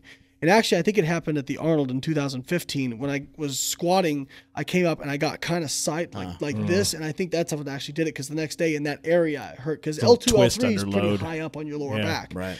The pain I was having Yeah, is right down by my tailbone. Yeah. you know? Normally that injury is associated with like car accidents. and stuff Yeah. like So I didn't have any radiating pain, nothing like that. It was all centralized on my lower back, but it was I had a it was the bulging disc that was causing me a lot of pain. It was mm. between L5 and S1. Right. So I just went to work doing the rehab exercises every single day. And now I do mobility work every single day. You know, I probably spend 30 or 30, 40 minutes between time warming up. between re- rehab exercises mobility work. I hate it. That Right. for me, that's the grind stuff. Like for me Yeah. to lift heavy, I don't get like Yeah, I- do a bunch that's of shit fun that you don't wanna do, yeah. It's so funny. People will be like, "Man, you you go in and you lift five days a week. That must take so much dedication." I'm like, "Stop, stop." Right. It would take dedication for me not to go in. Mm. you know, Right. like even when I like when I tore my pec and I had my surgery. Two days after my surgery, I was in the gym doing single leg leg extensions with light weight. You know, just because I I was going crazy. I had to do something. Yeah. You know, and um, that's just you know where my passion is. Like I was born on this earth to to to to do science, be a savage, and lift some heavy weights. That's what that's what I came here for. Okay, so let's roll back for a second and talk to me about hiring a life coach. Like, what prompted that decision, and what difference does it make for you to have a, a life coach? Well, she started out as my therapist because I'd had a rough year, like just the injuries and some personal issues and whatnot. And um, I think I've You know. seen you talk about those on social media. yeah, well. yeah. So 2000, you know, it's just a like a perfect storm of a lot of stuff coming together. Uh, by the way, know? I think that's admirable. You know, to, to come out and Well, say you know, that you, like, or whatever. you know, I don't. I understand people not wanting to put stuff out there. Yeah. You know, but when you present your life as a, there's so much bullshit on Instagram Right. where I see these people present themselves as being, you know, basically perfect. Yeah. And I know damn well they got all these problems going on. And, you know, I Right. just, Right. for me, like you guys know me outside this Powercast. Right. Uh, you know, outside, this, I'm the same way. Like I, I just, I am who I am. You know, you'll anybody who's met me knows that this is just how I am. Right. And when I'm on YouTube, Twitter, whatever, like when I when I get into it with trolls, it's like Paul Paul's always like, "Why can't you just let it go?" I'm like, "Cause I don't want to, cause that's not me." Right. You know, like I'm just I'm just who I am. You know, I don't want to pretend it doesn't bother me if it bothers me. So I try to talk about it without like getting too much into specifics. You know, obviously, and Some and things just, need to be private. absolutely you know and that and that's that's the hard part about social media now and being you know quote unquote a public figure is Right. you know your life is out there. But i i thought you know how can i talk about grinding and not quitting and all stuff if i don't show people the bad shit while it's happening? It's easy to talk about the bad shit after you're through it. Right. you know what i mean? And people will say yeah i had this thing going on. Like i had all these things. And it's like well, why not talk about it while you're in it? Because that has more value. I remember um not to the same extent, but when I was getting ready for Worlds in 2015, uh, a month out, I was dealing with a lower back injury that kind of gone on and off, and I think it was actually that herniated disc that was going on and off. And uh, I flew over to Denmark for some seminars I was doing, and um, got over there, and you know, like I slept on the plane actually really well, but then like you're I woke up at like 1 p.m. and then I had to be up the Yeah, next day at 5 a.m. You know, so there's no chance for me to sleep. So I didn't sleep that whole night.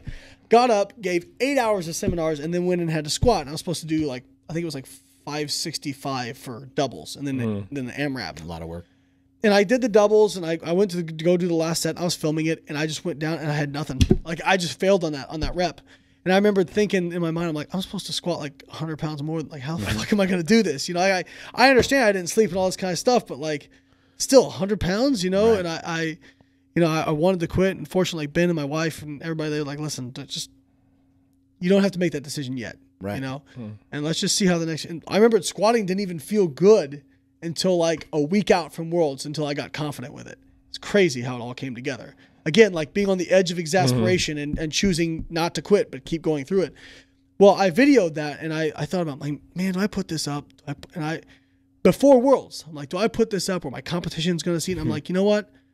I can't talk about being genuine and all this stuff if I don't put this shit up. So I put it up right there, Makes you like in my, accountable. Mm. you know, like, and I'm like, listen, this is where I'm at right now. I don't know if I'm going to make it to Worlds. I don't know if I'm going to be able to do well, but here's where I'm at, you know, because I want to show you guys this to show that, like, because what happens when you see these people who look like they're killing it constantly and you're just struggling all the time? Mm-hmm. You feel like there's something wrong with you, like you're never going to make it. And the fact of the matter is that most people who've become successful, they went through something at some point that felt like it was going to break them, you know?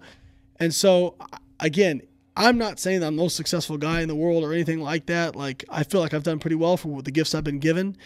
Um, but it's one of those things where how can I talk about this stuff and talk about being motivated and talk about if I don't if I don't talk about this stuff while it's happening. You What know? what happened uh, to your strength in that moment?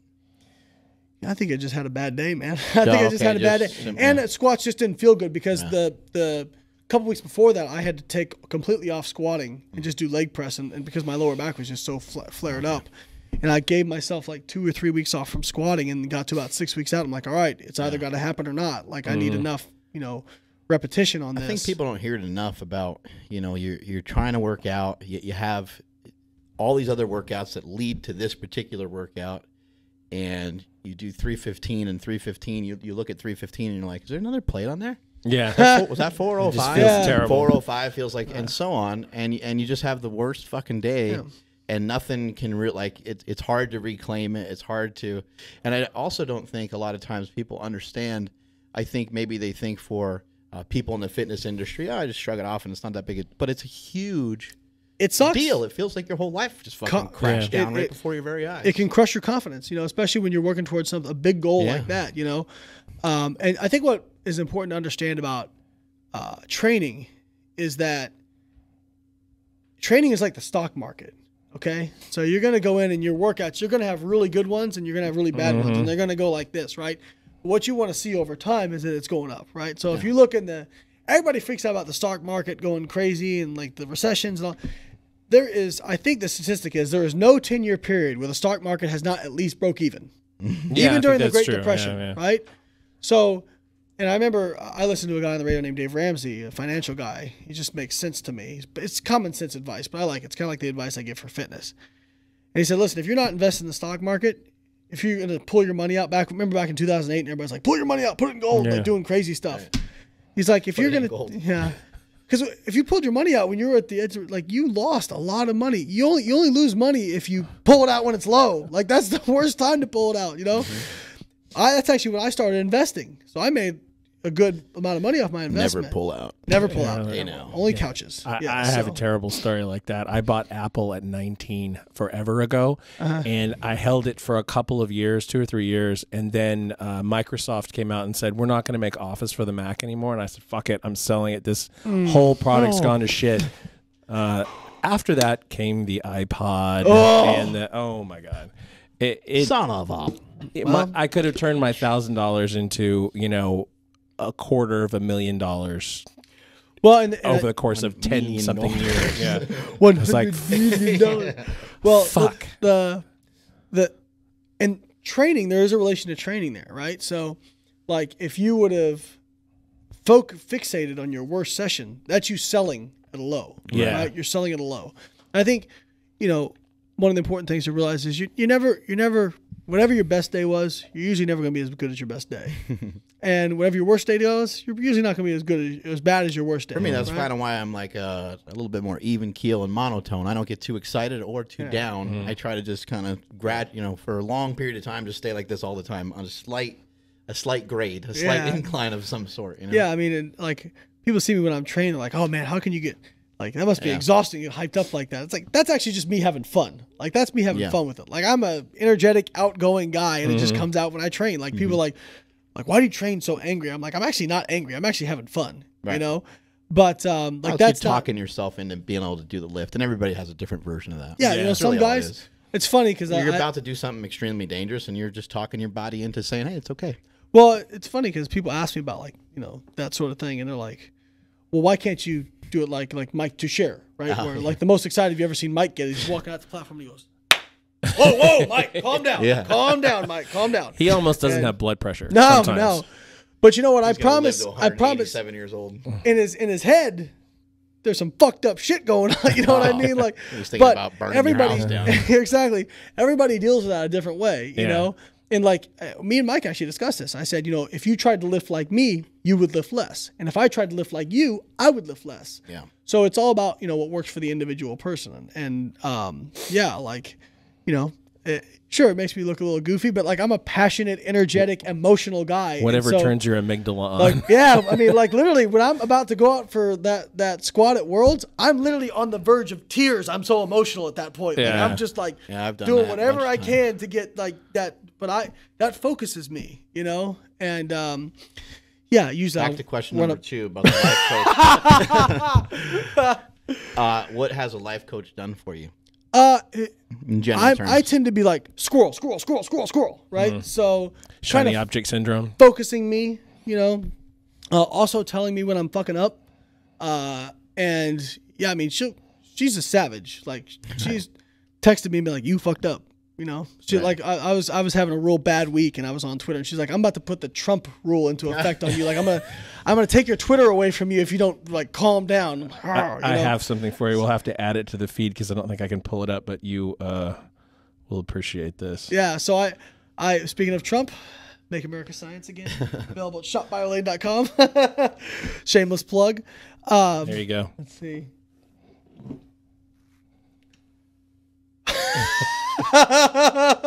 It's awesome. It's awesome. So, uh, you know, it's just somebody to kind of be, you know, not my wife, not my family, not my friends, somebody who is literally has no emotional investment Right. in the outcome. You know, just like why do you hire a coach for powerlifting? Right. There's so much free information on the web now, right?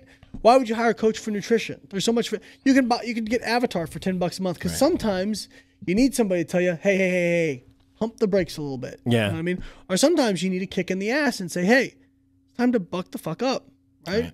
And knowing when to say those two things is really important. And I think more than anything, that's what a good coach does in anything is to know when to know when to give you a hey, hey, it's all right, like it's all right, you know, and also know when to say, hey, it's time to man up, you know, and like and to know when to say those two things is really important because if you say it at the wrong time, you can crush somebody's spirit, mm. Yeah. or oh, you Oh, can make I him feel bad, complacent. Yeah. Yeah, I'm disappointing them. I'm letting them down. and exactly, exactly. Want to just crumble? Yeah, I mean, crumble up in the it's happened. position. That's something that I think about as I get older more and more. Like, what do you say to your friends when you feel like they're off course and and like if they're you can see that they're struggling with something or whatever like how do you how do you help people in a way that's going to be appreciated and like yeah that's It's hard just- because I've been on both sides of it. yeah i just I struggle with that all the time now i, I, th- just I think the way you, you do it is you just try I to don't want really to offend them too, and and and say, hey, I recognize you're like, because then it's like, oh shit, it's that obvious that I'm in a rough spot. yeah but but, every it's almost always obvious when somebody's yeah. in a rough spot Yeah. that's Right. I think the best way to do it is you kind of go with your hat in your hand and you say, "Listen, I love you. You're my friend." You know, and I, I just I want to talk to you about this and and listen. You don't have to listen to what I say. It's Right. just my opinion. You know, but I love you and I'm worried about you and, and here's why. Right. And I think if you approach it like that, you kind of let somebody's guard down a little bit. You know, if you if you approach them and say, "Hey, we need to talk about something." Don't ever say, "Hey, we need to talk." You know that Mm-hmm. No, that's you want to get somebody to put their defenses up. That's like that's the first up. way to do it. Like, you know, "Oh, like no." especially like you ever been dating somebody or whatever, like back in the day, and say, "We need to you talk." It's like, oh, yeah, you're out. all right, you're on your way out. I'm done. You know. Yeah, we're- we're so it's, um, I think you just you you kind of do it like that. You know, try to try to, you know, let your guard down, and then hopefully they'll let their guard down. You know, Yeah, but it's not an easy thing to do. No, it's not. I, I it's not an easy thing to take criticism either. you know? No. I, I finally this week I was uh, uh, was talking to a, a friend that I know is having problems. He was talking about having problems, but he was like being open about it. But was like, okay, I think I think about the fact that you're having you're having issues, but like, how often can I check on you and have it not be intrusive? Right. Yeah. You know, and and so I just I asked the question, and he's like, as often as you want to, and I'll tell you if it's a problem. It's like, okay, Yeah. that's good. I can deal Yeah, with that. I, I got a buddy who's who's going through a lot of hard time right now. and We kind Most of people are dying for you to lend a hand out. You know, Oh, yeah, people yeah. are down on the ground already. Well, They're- you know they what? want you to put your hand. One and good thing lift them up. about 2016 and all the stuff that has kind of happened is is you find out who your friends are. It's like a nice filter. You know what I mean? Because I'll tell you who true friends are. When you're at your worst, they're running towards you. right. Yeah. And some people you thought were your friends will run away, and some people will just kind of sit on the fence. You know. Right. And I'm not saying they're bad people or anything like that, but it's just not what you thought. Somebody they were, may be right? hanging with you because you're popular. And, and right. Oh yeah. Uh, I Right. mean, I've had you know when you grow up, you know, people tell you, well, if you ever become successful, you're going to go through people who betray you, stab you in the back. You're going to go through people who, who you know, you thought were your friends, who you weren't your friends, or you know, who used you for your fame or money or whatever Right. fame. Um, and, and I always thought, huh? and, and all that happened. You know what I mean? All all that stuff's happened. And uh, but you know, you learn from it. You and you use it. Like I, I, whatever has happened, like I'll just use as motivation. And like trust me, you know, I, I've had moments where I'd be like, I'd love to this person or whatever, and, and I just default back to the best thing you can do is just crush your goals. Right. You know, like don't if you focus on other people, focus focus in the negative energy, and I've done it. I'm guilty of it. If you All focus that negative energy on other people, it's a waste of fucking time. You turn that energy around. Like Eric Thomas says, recycle your pain. You know, you're already if whatever's going on, you're already in pain. Use it. Get something. Get a reward from it. Yeah. You know, and that's the way I look at it. Like I, even when I was going through some of, you Right. know what I mm-hmm. mean. But I'm. I also knew that. Oh boy, I ain't gonna get tired this year. I'll have plenty. Like once I'm healed up, I ain't gonna get tired. Maybe I'll, uh, you know, like, and I've been more motivated than ever in my business, and you know, with with uh, with the family stuff, and Right. like just motivated to have the best year I've ever had. So, and you know, usually life kind of goes like that. Like if you just if you had a really rough week, well, guess what? Like the law of averages tends to work out. You know, the law. You don't flip heads fifty times in a row. You, uh, know, eventually you flip tails. Do you care to elaborate any further on that, or are you just going to leave it at that? I'd kind of rather leave it at that. Okay. But things have been getting better. Good. You know, and and a lot of it, you know, a lot of it was my own doing. You know, a lot of the problems I had, you know, we, I, I, I, I did an Insta story about this too. I said, um, you know, if you're an adult and you're constantly having problems in your life, you're having all this stuff, the common denominator in your life is you. Mm. Right. You know, Yeah. like a lot of these problems I had, some of them were outside, but some of them were self-inflicted. Right. You know what I mean?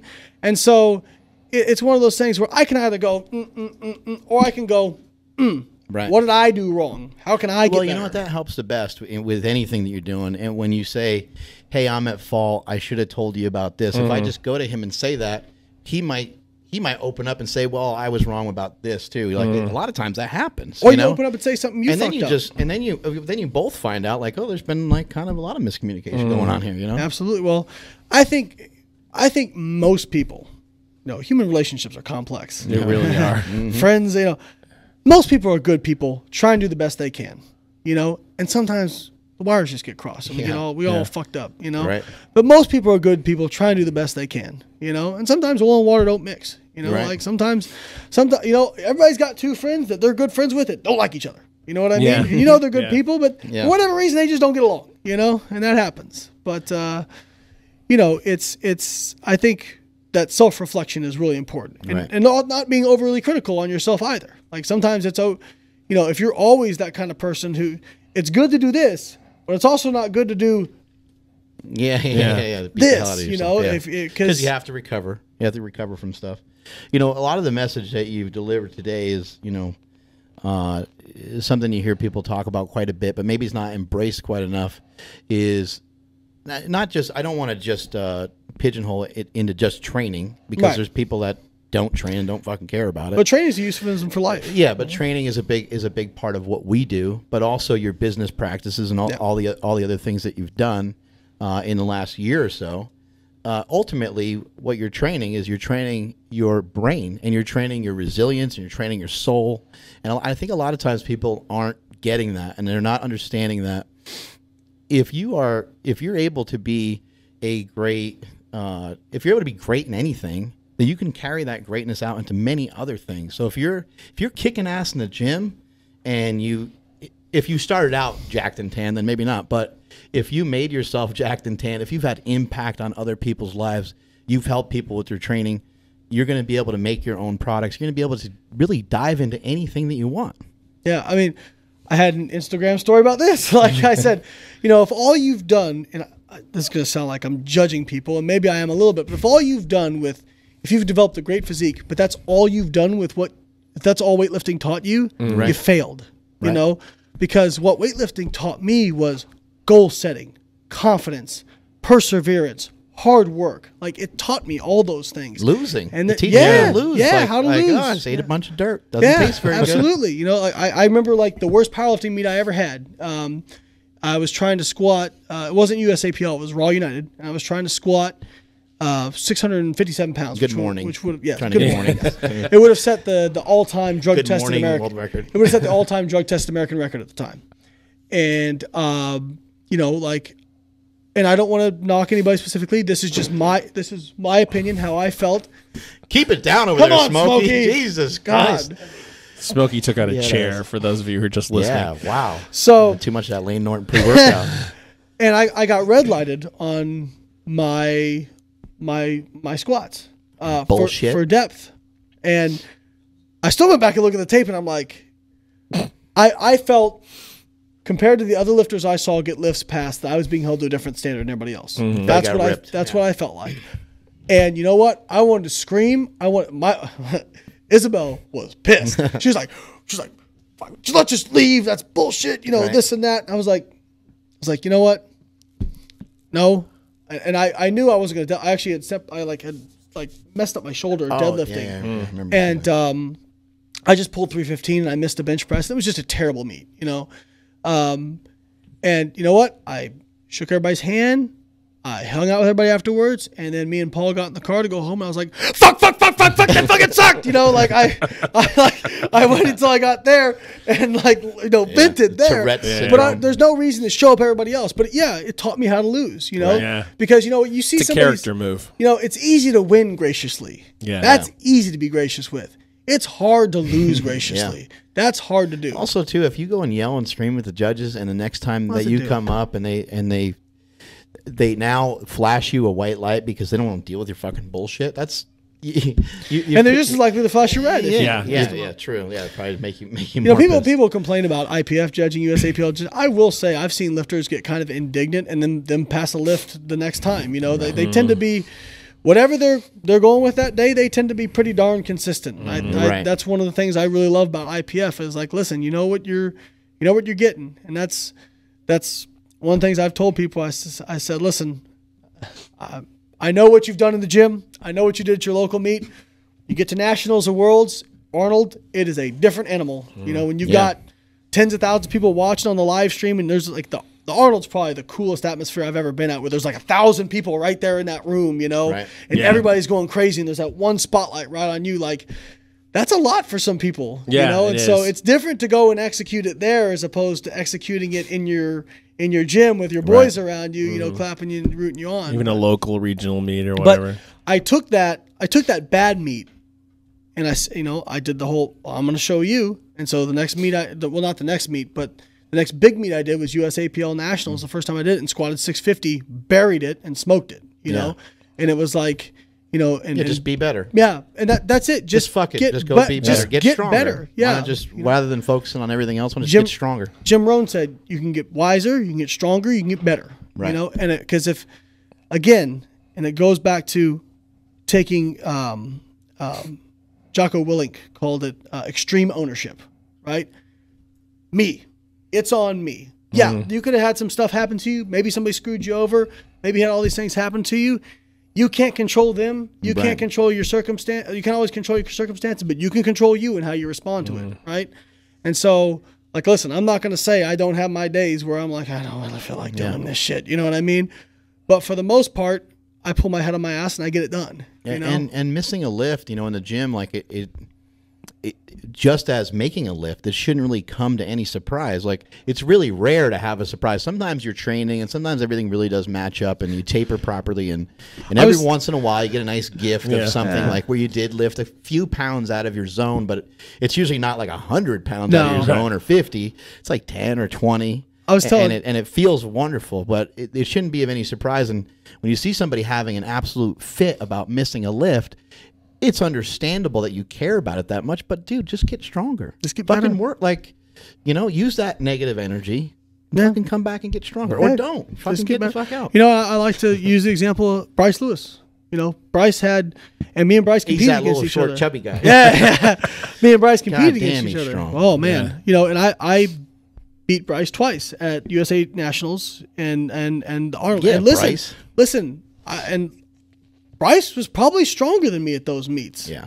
you know, but and he even I mean I think he'll admit it that he got in his own head. You know, and and like I remember at the first meet, uh, I think Eric Helms was coaching him, and uh, Eric was telling me that like when you hit that 650 squat and you came off and you were all fired up and you were you, he's like he, he's like I, I talked I was talking to Bryce on the phone. I I knew he was done you know?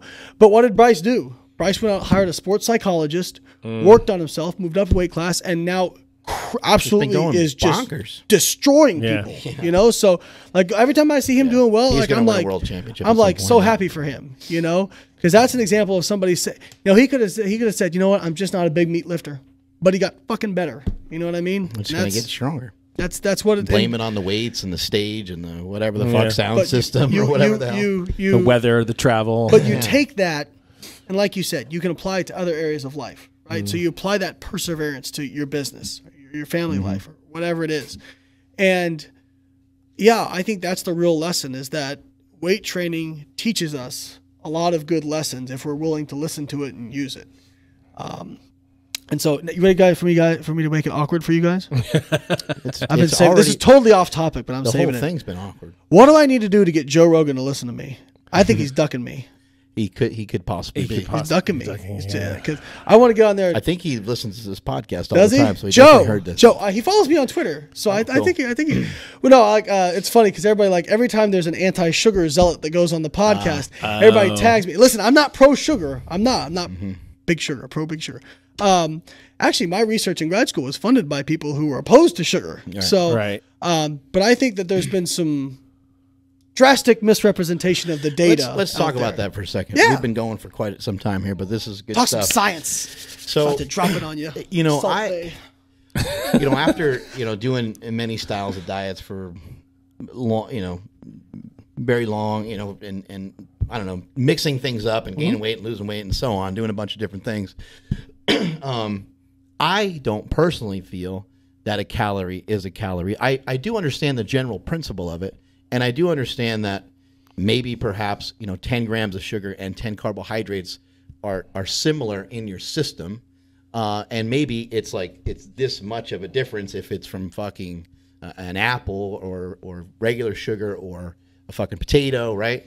But in my opinion, there is still there's still some differences, and my thing against sugar is just this fact is that for me personally, I tend to have an addiction to sugar.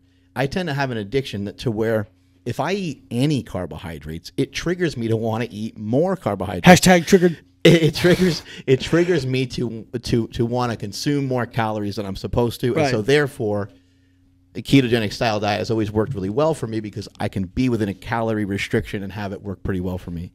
But that's a side point. Is a calorie a calorie? Yes and no.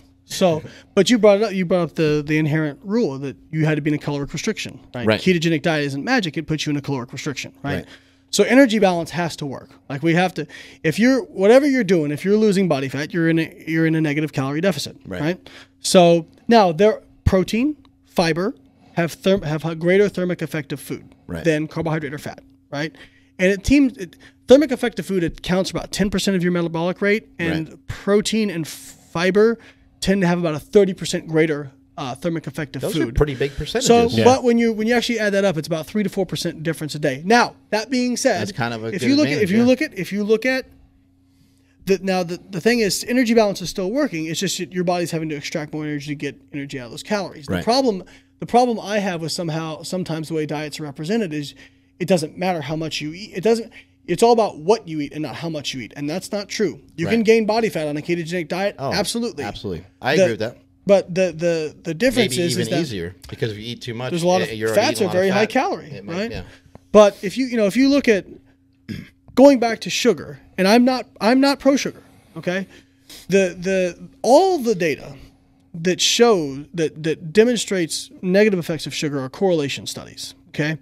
Or studies where they don't control calories in these studies. okay? Correlations too. Cor- yeah, correlations. So the if you look at the correlation of obesity with sugar intake, it's pretty linear until about 2000, where sugar intake starts to go down mm. and obesity continues to climb. Right. So, Carbohydrate intake in general, I think, has been lower, and people are well, for the most part, Americans have done what the government has told them to do, Right. except restrict calories. right. They've when they told them fat was bad, they stopped eating fat, and when they told them carbs were bad, Or, they I'm stopped sorry, eating yeah, carbs. the, the fat has has gone down, but people have still gotten yeah. Right. So the the the thing with sugar is if you look at it, if you look in calorie controlled studies, when you if you equate for there was actually a study done where they looked at like over 100 grams of sugar intake per day in a caloric deficit Right. versus about 10 grams per day. They saw no differences in fat loss. So everybody lost fat. Um, and uh, even like, and here comes the warrior cry of the anti sugar zealots like Gary Taubes is, but what about overall health? Well, blood lipids, triacylglycerides, inflammation markers, all improved in both groups to the same extent. The only difference was a very, very, very small difference in cholesterol. And that could probably be explained by the fact that the group eating less sugar ate more fiber. Fiber binds to cholesterol, causes you to excrete it. Now, that being said, I'm not saying eat 100 grams of sugar per day Right. because sugar is not very filling. If I take a bag of, of Skittles that's 55 grams of carbohydrate, yummy. it it's delicious, Yeah. but, but it's it'll fit in the palm of my hand. Right. How much broccoli could I eat for that? Yeah, How right. much? Right? Like so. So And that's what bodybuilders have known for years. right. So the the I always look at dieting as kind of like a budget, right? When I talk about flexible dieting, it's a budget, right? So if you're a Mark Bell and you're a meathead millionaire, right? Can you afford to go out and buy a hundred thousand dollar Slinger mobile if you can still pay your pay your mortgage and put money away in your kids' college and, and pay your utilities and all that mm-hmm. kind of stuff? Yeah, you can do that, right? You got some blow money, right? Right. So if you got a fast metabolism, can you afford to eat a, a Pop Tart or something like that and still have an overall healthy diet? Probably yes. Absolutely. But if you're on poverty macros, right? We've talked about Yeah. poverty mm-hmm. macros before, or if you're on poverty income, probably not a good idea to buy a hundred thousand dollar Slinger mobile, right? If you can't pay your rent or you, and you can't pay your utilities and all that sort of stuff. Well, it's the same thing with diet, right? And so, Meathead what- millionaire doesn't rent, by the way. well, yeah, but the poverty macros do. so, so my, my, my point has always been that I just don't like the fear mongering associated with with sugar and carbohydrate. And I really got a big problem with Gary Taubes. And feel get free to bring Gary Taubes on the show with me because I was at Epic in uh, Epic Fitness Summit in the UK, and Alan Aragon. You know, I'm sure you guys know Yeah, Alan. Yeah. absolutely. And Alan was debating Gary, destroying him, by the way. Um, and Gary's criticizing all the studies Alan's citing, saying, well, they were funded by this and they were funded by that. And then has the audacity to get up there and say, but I'm funding studies that will prove that sugar is the cause of obesity. and I and I raised my hand because I'm a smartass and I can't help myself. And I said, so let me get this straight. All these other studies that were funded by other people are all bogus, but the ones you're funding are going to be good. And then his studies came out and was the opposite. It proved the opposite. And Alan asked him at that at that Epic Fitness Summit and said, if you if there were, if there was enough evidence shown to you, You were would you would you change your mind? If your studies showed to you that you were wrong, would you change your mind? And he said no. Nothing would be able to He's too in change love with my his own concepts. I said you're a religious zealot yeah. you, you should join a cult you know and so that's my problem is nutrition has become like religion and i hate that i'm not a high carb guy i'm not a low carb guy i'm, I'm a whatever works guy and for the most part Right. you find a ketogenic diet the diet that you can sustain the best Right. that, that is the most realistic for you and you're able to stick to it the best then by all means do ketogenic diet Right. right? But don't try to tell me that it's magic. It's not magic. No. If if somebody else can do a flexible diet Yeah. and do or uh, uh, con, uh, What consume what more I carbohydrate, people, what I hear people trying to throw around too is, oh, you know, a ketogenic diet's going to produce these health benefits. Well, anytime we get anybody heading in the right direction of losing weight because everybody's so fucking fat, it's a Yeah. weight loss. we're going to have a Yeah. lot of health benefits associated Yeah. with all of the different It's- forms of, of dieting. It is completely a weight loss effect. convenience, inactivity, people fucking eating too much. I mean, all of those th- and uh, tons of bad habits. Those are the reasons why people are fucking fat. If you if you look at some of the data, there was a study done at Arizona State in 2007 where they compared. There was some, uh, and I love Jeff Volek, very great researcher, did a lot of the original research on keto, and I applaud him for being at the forefront and forward thinking. And there was a lot of uh, studies done comparing keto to the typical food guide pyramid diet, right? Right. And they would show that keto would produce better fat loss effects and better uh, lean body mass retention in certain situations even under the same calories. And you know, people, well, that means keto's better. Well, they were higher. They were also higher in protein, right? So this study took a thermic took- effect, yeah. right? Right. So greater thermic effect, and obviously muscle retention, Right. right? Um, if you do a if you do a normal diet, higher carb, lower protein, you tend to lose if you don't lift weights. You tend to lose about sixty percent fat, forty percent lean. That's what we saw in our lab. Right. If you do a high protein uh, diet, you tend to lose about 20% lean, 80% fat. Now, if you add weightlifting in, it almost goes to 0% Right. uh, lean with a high protein diet. So what this what this group did was they compared um, a ketogenic versus non-ketogenic diet, same calories and same protein, and they saw the exact same effects. Right. They tried to make some claims that they saw these markers go up in this Right. ketogenic diet, and maybe that was negative for health. I don't believe that. I Right. I think a ketogenic diet is perfectly fine and healthy if you can sustain it. My my problem with the ketogenic diet, if I had one, would be most people can't sustain it for long periods of time because literally it means if you're going to do that and Joe like for example Joe Rogan it seems like he pretty much sticks to that and he seems fine with that and there's nothing wrong with that right my problem is if you're trying to get somebody to do it people don't think about the diet after their diet Yeah. right And you need to transition into my something else. father Right. my father did a, a ketogenic diet lost 30 pounds put back on 50 he was better Right. off before he started dieting Right. so sorry, Dad, love you. Um, so and, and that's really like Right. when I do seminars, I'll say, "How many of y'all think we have a weight loss problem in this country?" And everybody raises their hand. I say, Right. "You're wrong." Hundreds of millions of people around the world lose weight every single year. In fact, Right. out of the obese population, six out of every seven obese people will lose a significant amount of body weight in their lifetime. So why do we have an obesity problem? It's because they don't keep it off. Right. The average dieter loses about 20 pounds when they try to diet. Um, and Which is a lot of weight. which is a lot of weight. That's a lot of weight. Yeah. Um, but and people can speak to this this experience.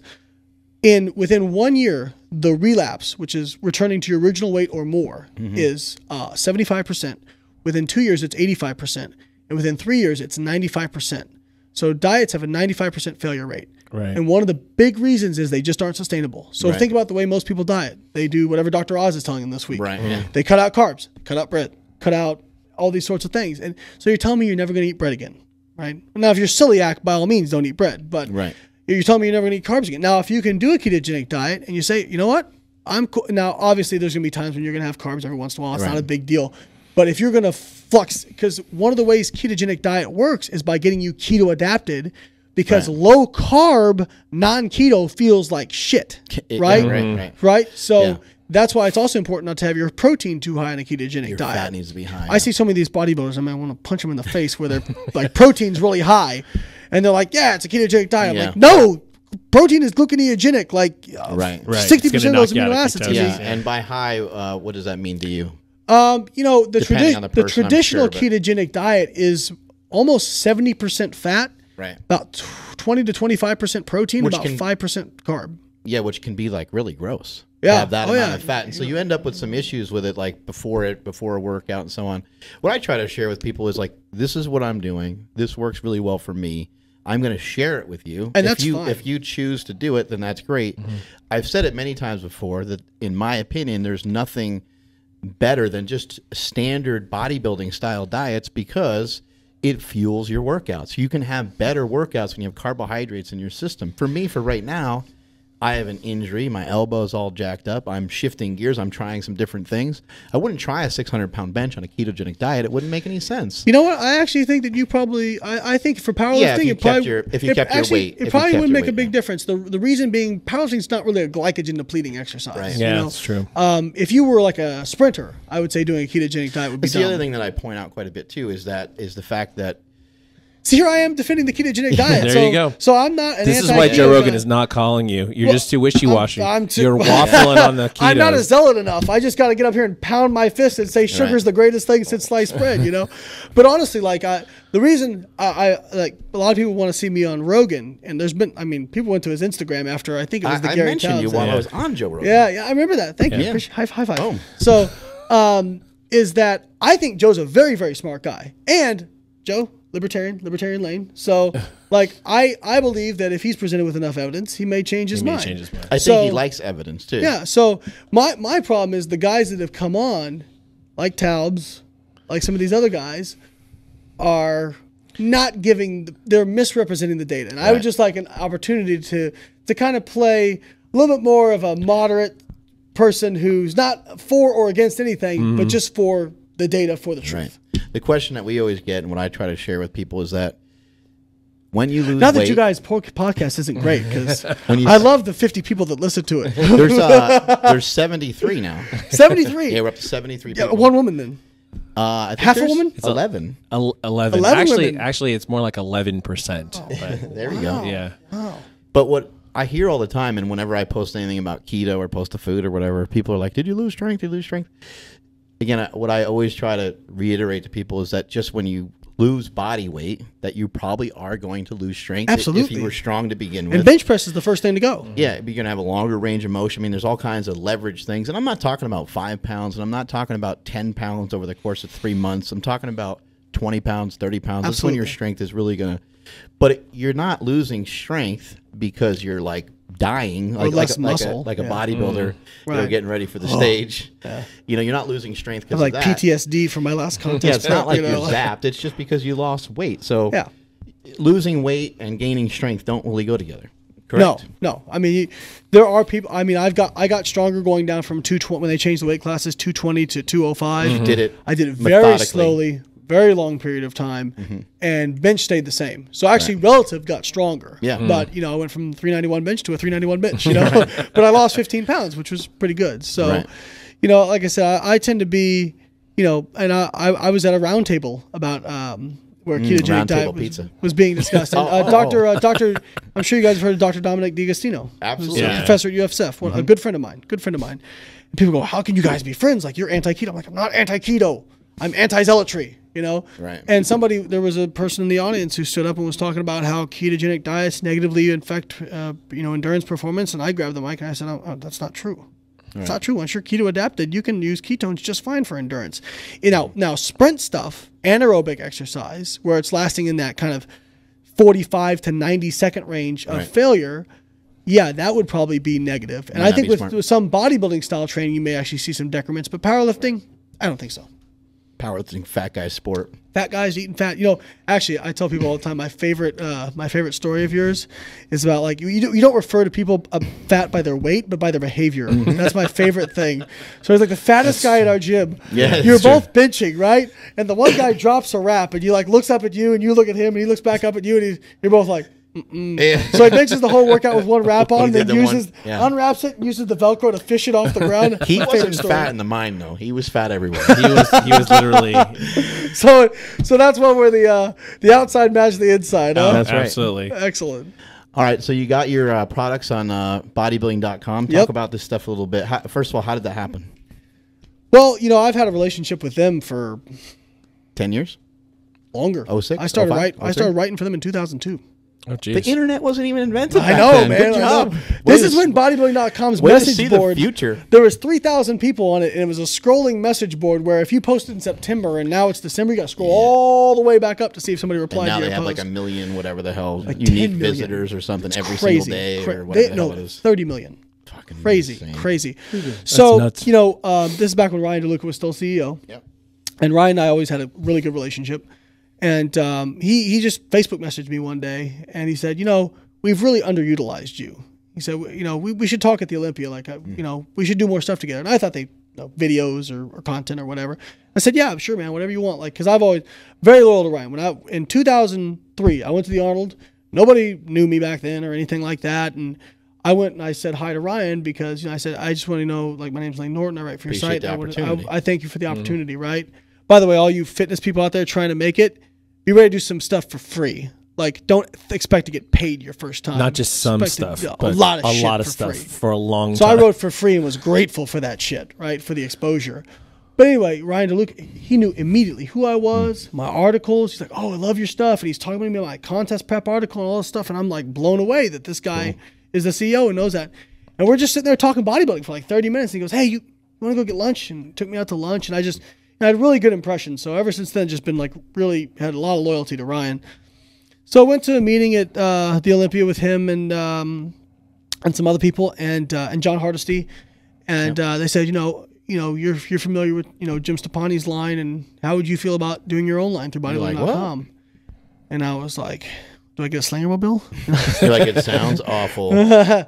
But you know, I, I, I did have you know some. Cons- I I had never really wanted to get in the supplement industry, not because I don't like formulating products. I do like formulating, and I'd always just put my own supplements together because there was nothing out there that I really. There were some products I liked here and there, Yeah. um, but there was always something missing, you know. And but I was worried about okay, how am I going to be made to promote it? You know, how am I going? to... And it was funny. As soon as bodybuilding.com approached me, I had two other companies approach me. You know. And I felt like the pretty girl at the dance. You know what I mean? Like, um, There's another lesson to learn here is that you shouldn't be so quick to say yes because whenever someone's whenever there's going to be a financial exchange, you're on the hook. yeah. You're on the hook. It's it's your name on there. Hmm. Yeah. It's your ass. It's like, I mean, you know, you don't. I don't want to get. I said. I said. Listen, if you're look, and I told him, and I didn't think this was gonna be the case, but I said, if you're looking for a guy to get up there and be like five thousand percent more muscle, like uh, that's not me. You know, I'm gonna be like, you know, this has a little you bit of need to know benefit. you can do it you your know, way, yeah. This, you know, nutrition and training is the most important thing. This stuff is the last little bit. You know, if you got a little extra money and this stuff's really, really important to you, then this can make a little bit of difference in your recovery and, tra- and performance. You know, but um, you know, the whole line was kind of the concept was designed around of, you know, these these supplements don't really build muscle. Right. They don't really build muscle. What what what what a supplement can do, some of these can do, help you train harder, less fatigue, recover better. So you can get more out of your training sessions because your training is what's going to drive your hypertrophy. Right. Like for the most part, sense. people talk about it's 80% tr- nutrition and 20% training. That is 100% bullshit. Okay. this is coming from a guy who did a PhD in nutrition. Training is by far more, more, more important. You can eat the perfect diet, perfect diet, and your body's going to sit there. Right. The- your training is the impetus for you to grow. Okay. So this line is designed around helping you perform better, uh, recover better. So we have, you know, right here we have prep and recover. So prep is our, our non-stimulant based pre-workout. So, and the reason I came up with a non-stimulant based was, you know, I especially like on off days, I still wanted to take my creatine, my citrulline, betaine. Not uh, you know, really a reason to be all but hyped up no, on no, tons of no caffeine. need to have 250 milligrams of caffeine, right? Or maybe some people train at night and they, they can't get to bed if they've had that. Or maybe some people just like the option of taking it. You know, they're just going to go in and do like not a super intense workout, but they don't need a full on. You know, but they can't get their their the the supplements that improve fatigue resistance and enhance performance without getting that big dose of caffeine. And caffeine's cheap enough. Drink drink a cup of coffee or grab a Monster. Right. You know? Right. So I wanted it to be kind of uh, malleable. And actually, we have a. I think there's still a stack on Bible.com where you can buy a prep and get a, caf- a bottle of caffeine for free. You know, so if you want the caffeine, and the main the main criticism on the site that's why it's not it's not like perfect rating is, well, it doesn't have caffeine. I'm like, I know. Yeah. And then Recover is um, kind of our post workout recovery product. It's got branch chains, uh, carnitine, citrulline malate, and uh, tart cherry extract, which actually is really cool. Um, has been shown to decrease delayed onset muscle soreness, Hmm. which, by the way, soreness is not equated with growth. If you want to be sore, go out and run a marathon. I promise you'll be sore. Do you think you grew muscle? No. Okay, that that the debate is over. Okay. Kind of the opposite, maybe. Um, yeah, and what So happens you is maybe you- perhaps don't need soreness to soreness is not a, It doesn't no. have the direct, not a direct The- correlation. what, what I would say is that you should probably get sore sometimes. If you're getting sore constantly from your workouts, your programming sucks. Um, because if you're sore all the time, you can't train frequently enough. Right. Okay. So what Recover is going to do is it's going to help you recover better. So that tart cherry extract, those BCAAs, BCAAs, as you like to say, they've been shown to reduce muscle soreness. They've been shown to actually improve the rate at which, um, but basically one of the ways they measure recovery is they'll have you go in and do a strength test after you've done a sh- session before that. Right. And the quicker your strength recovers is how they gauge recovery. Well, tart cherry and BCAAs have been shown to shorten that time that it takes to recover your strength. So Seems like especially it for helps you work out a little longer too. Right. Yeah. th- There is some data to suggest that. So, you know, again, it's it's designed around recover better, perform better, uh, and then we have a whey protein isolate, which uh, our salt our salted caramel is flavor is in my opinion good. obviously low biased, but in my opinion the best tasting protein on the market. And uh, you know it's a whey protein isolate. Now I'm not going to sit here and tell you that a whey protein isolate is more anabolic than a whey concentrate. It's not, but it's lower carb, it's lower fat, it has less lactose, or almost no lactose for those who are, are sensitive to that. And it's hypoallergenic. And I wanted something that most people can't tolerate. Not most, but a large number of people cannot tolerate a whey concentrate. It gives them gastrointestinal distress. And I wanted mm. something that everybody could use. So that's why I went with the whey protein isolate. It's a little bit pricier, but it tastes fantastic. And for a whey protein isolate, it's really priced competitively. So, you know, I was I didn't want to do some. And the other thing that's unique about our brand, before I go on too long, we list every ingredient on the side of the bottle. There's no hidden No dosages. There's proprietary no blend. proprietary blends. And I, I don't want to badmouth anybody, but if you're saying proprietary blend, there's a reason you're saying proprietary blend. It's because you're Salt Bae fairy dust and stuff in there, right? like why, if you were using a full six grams of citrulline malate, why wouldn't you want to advertise that you use a full six grams of citrulline malate? And It's a fudge factor. and it's you know it's a little bit on the pricier end as far as supplements go, but uh, I tell I I tell people, okay, well all the ingredients are listed on the side there. Right. Go build it yourself and let me know if you saved any money. And what you'll Right. find It is doesn't have fillers and crap in it. Yeah. Right. What you'll find is, I mean, our ingredient list is like nine ingredients long. Right. You know, like it's it's pretty short. And what you'll find is, is you you'll probably about break even, but it won't be flavored and mm-hmm. it'll taste like crap. So why not just get it all together? So um, I'm really happy with the products. You know, it started out moving Good. pretty slow, just because, like I said, I'm not willing to lie about my supplements, and I'm not mm-hmm. willing to sit here mm-hmm. and tell you like like a lot of other people. I just, you know, at the end of the day, I want to look back and whether I make a ton of money from it or a little bit of money, I want to be able to look back and say, you know what, I promoted, I, I acted in a way that made me proud. You know, you I don't want to, I don't, money's going to come and go, but your integrity is forever, you know? So I want to be able to, to look back at least at the end of my life and be like, you know what, I didn't do everything perfectly, but I did the best I could and I didn't sell my soul. So I, I'm really proud of how the lines came out and hopefully get to do more cool stuff with it. Where can people reach you?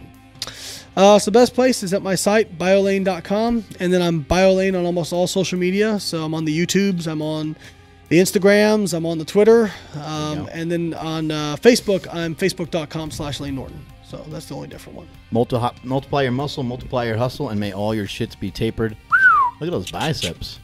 Sneaky. I'm at Mark Smellybell on Instagram and Twitter. My YouTube is SuperTraining06. Later. Shout out to all our sponsors, Apeman Strong Apparel at apemanstrong.com, bodybuilding.com for all your supplement needs, including carbon from Layne Norton. Compex USA for cutting edge muscle stim machines. Increase your bench press at howmuchyabench.net and Power, the only strength magazine available in both digital and print at thepowermagazine.com. Get 15% off today with free shipping and free returns by going to movementwatches.com slash powercast. I am the Jim McD everywhere that I want you to find me on social media. Follow the show on Instagram. We are at Mark Bell's Powercast. And we're out. Hey now. Whew. So I could. If you made it this far, you must have liked this thing, so hit that like button.